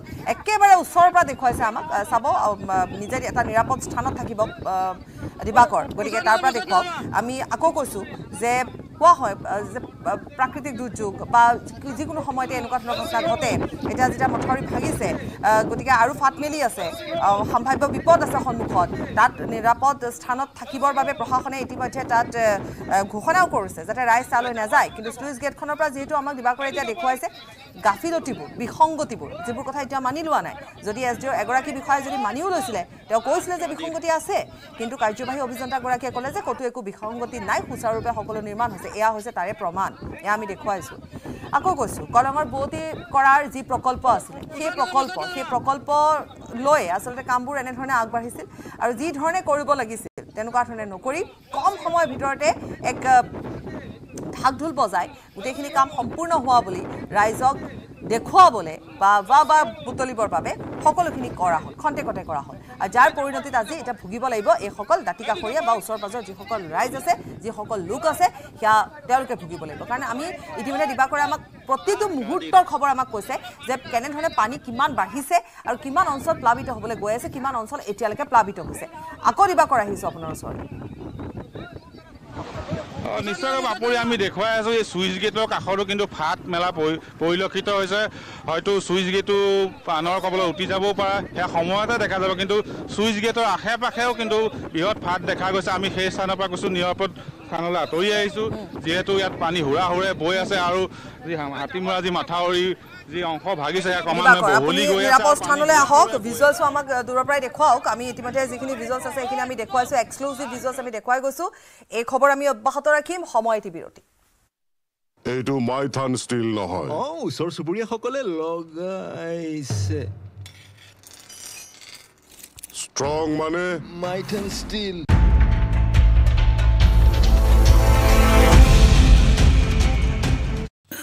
সাধাৰণ জনতাৰ ন্যায় ব্যৱস্থাত কেনে সুফল আহে সেয়া আগন্তুক দিনত প্ৰতিফলিত হ'ব।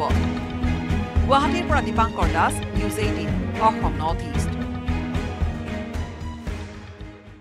ধৰ্ষণকাৰী হত্যাকাৰীৰ ঘৰ উচ্ছেদ।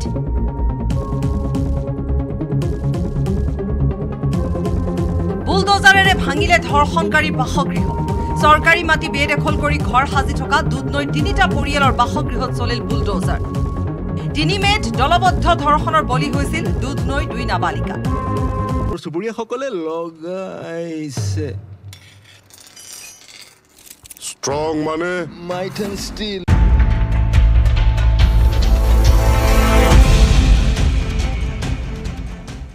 হাতীমূৰা মথাউৰিৰ পৰা পোনপটীয়া সম্প্ৰচাৰ অব্যাহত ৰাখিছে আমাৰ সাংবাদিক দিবাকৰ তাত আছে। দিবাকৰ।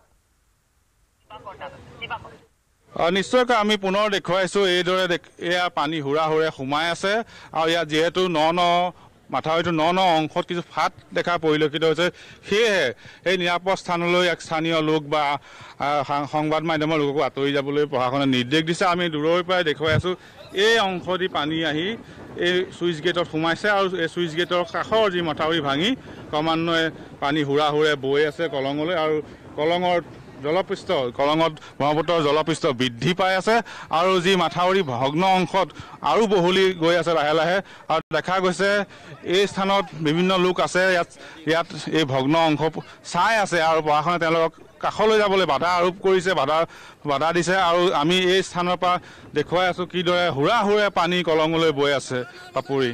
তাত আহ, কিছু লোক আছে নিশ্চয়। গতিকে তেওঁলোকে তেওঁলোকে নিশ্চয় তেওঁলোকে ভাষ্য দিব পাৰে। কাৰণ তেওঁলোকে যিটো দেখিছে প্ৰশাসনৰ লোক আছে তেওঁলোকে তাত ৰাইজক তালৈ যাবলৈ বাধা প্ৰদান কৰিছে নিৰাপদ স্থানত থাকিবৰ বাবে কৈছে। যিখিনি ভিজুৱেলছ আকৌ এবাৰ আহিছে আমি দেখুৱাই গৈছোঁ গোটেইখিনি।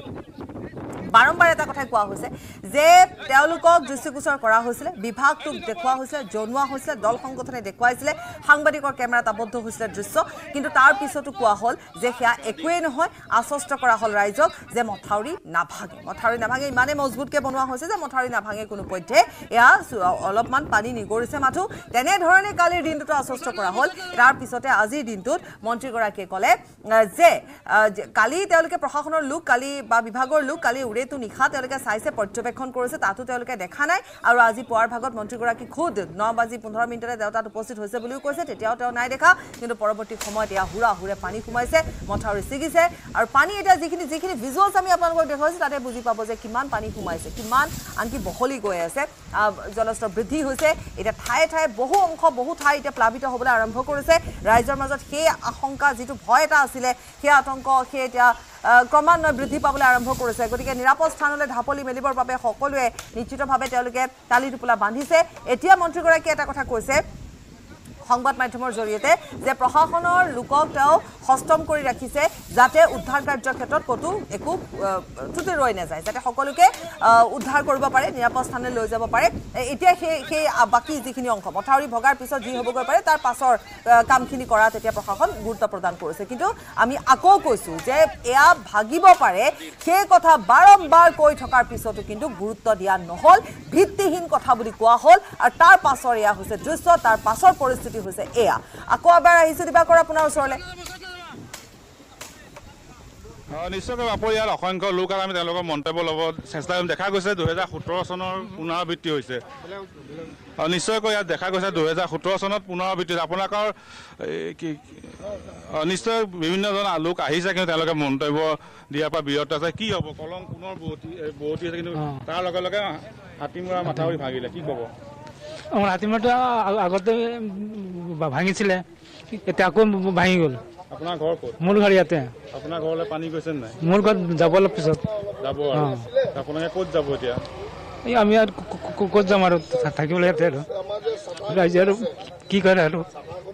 কি কয় প্ৰশাসনে কিবা ব্যৱস্থা কৰিছে নে আপোনালোকৰ উদ্ধাৰৰ বাবে? নাই কৰা।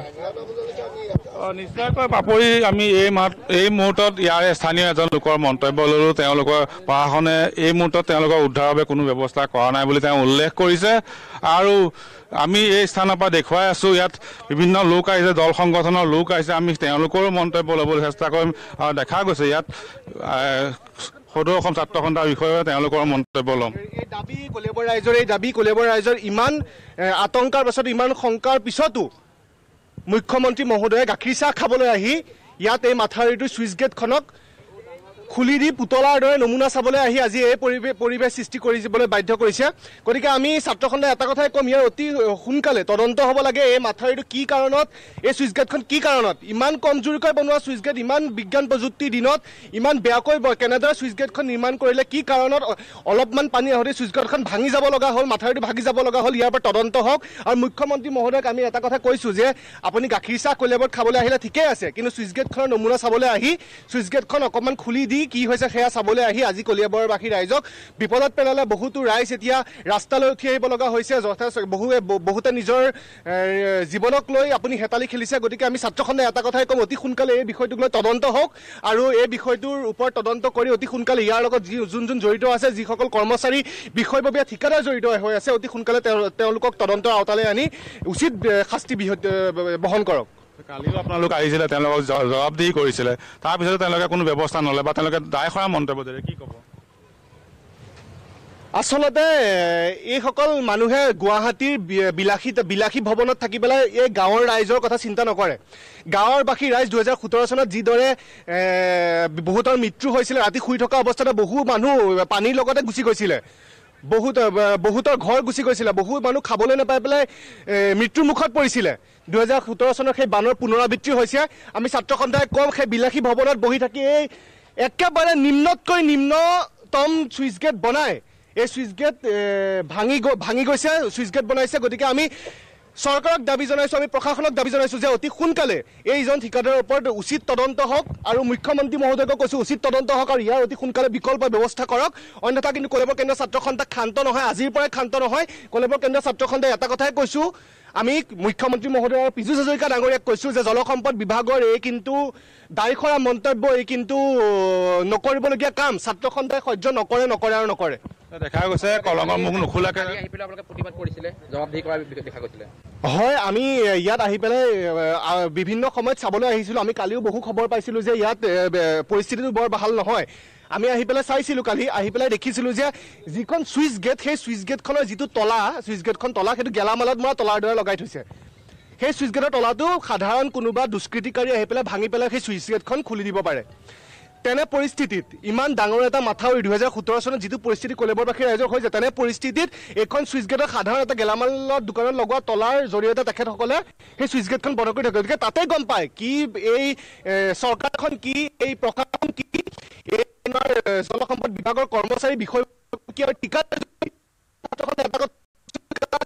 সোনকালে কিন্তু ব্লেক লিষ্টেড কৰিব লাগে আৰু অতি সোনকালে ঠিকাদাৰজনক কিন্তু দিবাকৰ সোপা ঢিলা আচলতে গোটেই কামবোৰে আৰু এক প্ৰকাৰ চমক সৃষ্টি কৰাৰ কাম।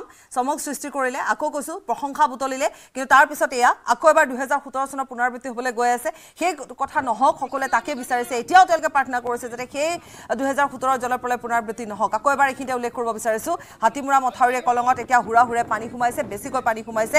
ভগ্ন মথাউৰিয়ে কলঙত ব্ৰহ্মপুত্ৰৰ পানী সোমাইছে। ভয়ংকৰভাৱে উফন্দি উঠিছে কলং নৈ জলপৃষ্ঠ। বানত প্লাবিত হৈছে দাঁতিকাষৰীয়া অঞ্চল। ভয়ংকৰ বানৰ আশংকাত এতিয়া ত্ৰস্তমান নগাঁওবাসী তেওঁলোকে ভয় খাইছে। তেওঁলোকে ইতিমধ্যে কৈছে যে আমি দাঁতিকাষৰীয়া অঞ্চলতে থাকোঁ। দুহেজাৰ চনত যি হৈছিল সেয়া আকৌ হ'বগৈ পাৰে নেকি? এতিয়ালৈকে প্ৰশাসনৰ লোকে যিহেতু কোনো ধৰণৰ তাত ব্যৱস্থা কৰিবলৈ আগবঢ়াই নাই গতিকে তেওঁলোকে একেবাৰে নিচেই কাষতে থাকে তেওঁলোকে মথাউৰিটো ক'ত ভাঙিছে চাবলৈ আহিছে। তেওঁলোকে জানিছিল তেওঁলোকে আকৌ এবাৰ যিহেতু কলঙক বোৱতী কৰাৰ যি প্ৰকল্প হাতত লোৱা হ'ল আৰু তাৰ এয়া হৈছে তাৰ পাছৰ দৃশ্য আমি আকৌ কৈছোঁ যি ধৰণে নিৰ্মাণ কাৰ্য হ'ব লাগিছিলে তেনেকৈ নহ'ল বুলি ইতিমধ্যে ৰাইজে কৈছে। ৰাইজে কৈছে ৰাইজৰ অভিযোগ সেয়া দল সংগঠনৰ অভিযোগ এয়া যিমান মজবুত যিমান শক্তিশালীকৈ নিৰ্মাণ কৰিব লগা আছে নকৰিলে সকলো সোপা ঢিলাকৈ নিৰ্মাণ কৰা হ'ল। আৰু গাফিলতি বিশেষকৈ এটা বিভাগৰ আমি আকৌ কৈছোঁ যে মন্ত্ৰী বা বিধায়কে নিৰ্দেশ দিব পাৰে। কিন্তু কাম কৰিব কোনে? এই যে অভিযন্তাসকল বা এই ঠিকাদাৰসকলে গতিকে তেওঁলোকে তেওঁলোকৰে আচলতে ইমান উন্নতমানৰ প্ৰযুক্তিৰ সময়ছোৱাতো তেওঁলোকে এনেধৰণে নিৰ্মাণ কাৰ্য সম্পূৰ্ণ কৰিলে য'ত এক প্ৰকাৰ মন্ত্ৰীগৰাকীও আনকি বিশ্বাস কৰিবলৈ টান পাইছে যে এয়া ঠিকাদাৰৰ গাফিলতি নেকি। তেওঁ এনকুৱাৰী কৰাৰ কথা কৈছে। এতিয়া এনকুৱাৰী হওক বা ইয়াৰ বিহিত ব্যৱস্থা হওক এইবোৰ পাছৰ কথা প্ৰতিবাদ হওক এইবোৰ পাছৰ কথা কিন্তু কোনে ভুগিব লাগিব কোনে জীয়াটো ভুগিব লাগিব এইসকল সাধাৰণ ৰাইজে এই খাটি খোৱা লোকসকলে এতিয়া জীয়াটো ভুগিব লাগিব। তেওঁলোকে ইতিমধ্যে নিজৰ নিজৰ টোপোলা বান্ধিছে তেওঁলোকে নিৰাপদ স্থানলৈ যাবলৈ ব্যৱস্থা কৰিছে কিন্তু কলৈ যাব? গতিকে তাক লৈ তেওঁলোকে এতিয়া বিপাঙত পৰিছে। মুঠৰ ওপৰত এটা দুৰ্বিষহ পৰিস্থিতিলৈ এতিয়া সকলোখিনি আগবাঢ়িছে সময় আগবাঢ়ি গৈ আছে। আমি আকৌ এবাৰ আমাৰ সাংবাদিক দিবাকৰ আছে দিবাকৰ ওচৰত যাম। পাপৰি আমি এই মুহূৰ্তত আছোঁ হাতীমূৰা এই মাথাউৰিতে ভগ্ন মাথাউৰিৰ সমীপতে। আৰু দেখা গৈছে ইয়াত বিভিন্ন লোক আহিছে এই স্থানত স্থান পৰিদৰ্শন কৰিছে। কিন্তু এই মুহূৰ্তত এই ব্ৰহ্মপুত্ৰৰ পানী হুৰা কলঙলৈ বৈ আছে আৰু কলঙৰ হাতীমূৰা যি ভগ্ন অংশ ক্ৰমান্বয়ে বহলি গৈছে আৰু বিভিন্ন অংশত ফাট মেলিছে চুইচ গেটৰ আশে পাশে ফাট মেলিছে। আমি দেখুৱাম এইদৰে হুৰা হুৰে ব্ৰহ্মপুত্ৰ ব্ৰহ্মপুত্ৰৰ পানী কলঙলৈ বৈ আছে। ক্ৰমান্বয়ে ব্ৰহ্মপুত্ৰৰ পানী উফন্দি উঠিছে কলঙত আৰু জলস্তৰ ক্ৰমান্বয়ে বৃদ্ধি হৈছে আৰু ন ন অঞ্চল এই কলঙৰ পানী বৃদ্ধি হোৱাৰ লগে লগে দাঁতি কাষৰীয়া অঞ্চললৈ সম্প্ৰসাৰিত হ'ব আৰু পানী বিভিন্ন দাঁতি কাষৰীয়া অঞ্চল প্লাৱিত কৰিব আৰু আমি দেখুৱাই আছোঁ এই মুহূৰ্ততো হুৰা হুৰে পানী বৈ আছে জলস্তৰ যিহেতু ব্ৰহ্মপুত্ৰত কিছুদিন বৃদ্ধি হৈ আছে আৰু সেই পানী এতিয়া কলঙলৈ বৈ আছে। আৰু দেখা গৈছে জলসম্পদ বিভাগৰ বিৰুদ্ধে ইতিমধ্যে ছাত্ৰ সন্থাৰ বিষয় বিষয়ে মন্তব্য প্ৰদান কৰিছে তেওঁলোকৰ যি ঠিকাদাৰী প্ৰতিষ্ঠান জেট ইঞ্জিনিয়াৰ্ছ তেওঁলোকক ব্লেক লিষ্টেড কৰিব লাগে। আৰু এই যি হাতীমূৰাৰ পৰা যি মিছালৈ যি কলং আছে কলঙৰ কলং চফা নকৰা বা কলং খনন নকৰে কিয় পানী এৰি দিয়া হ'ল তাক লৈ প্ৰশ্ন উত্থাপিত কৰিছে। যিহেতু মাত্ৰ তিনি চাৰি কিলোমিটাৰ কলং পৰিষ্কাৰ কৰিলে খনন কৰিলে কিন্তু তাৰ পিছতো প্ৰায় সোতৰ ওঠৰ কিলোমিটাৰ মিছালৈকে কলং চফা কৰিবলৈ বাকী আছিল কলং মেটেকাৰে পৰিপূৰ্ণ হৈ আছিল আৱৰ্জনাই ভৰি আছিল কিন্তু সেই কলং চফা বা নিষ্কাশন নকৰাকৈ কিয় পানী এৰি দিয়া হ'ল বা পানীৰেই কলং চফা কৰিম বুলি তেওঁলোকে হয়তো ভাবিছিল নেকি যাৰ বাবে কলং চফা নকৰাকৈ তেওঁলোকে পানী এৰি দিছিল কলঙত আৰু তেওঁলোকে কৈছে যে পানী নিগৰি নিগৰি কিন্তু নিগৰি নিগৰি যোৱা বুলি তেওঁলোকে মন্তব্য। কিন্তু কলঙৰ চুইচ গেটৰ ওপৰেদি পানী পাই গৈছে সেই তেওঁলোকে সেই কথা স্বীকাৰ কৰা নাছিল তাৰ পিছদিনাই আজি অৰ্থাৎ পুৱাই এইদৰে হাতীমাৰি কলঙৰ চুইচ গেটৰ কাষত মাথাউৰি ভাঙি এতিয়া প্লাৱিত হৈছে কলিয়াবৰ কলংপৰীয়া ৰাইজ পাপৰি এইটো মাইথান ষ্টিল নহয়। অঁ ওচৰ চুবুৰীয়াসকলে লগাইছে। ষ্ট্ৰং মানে? মাইথান ষ্টিল।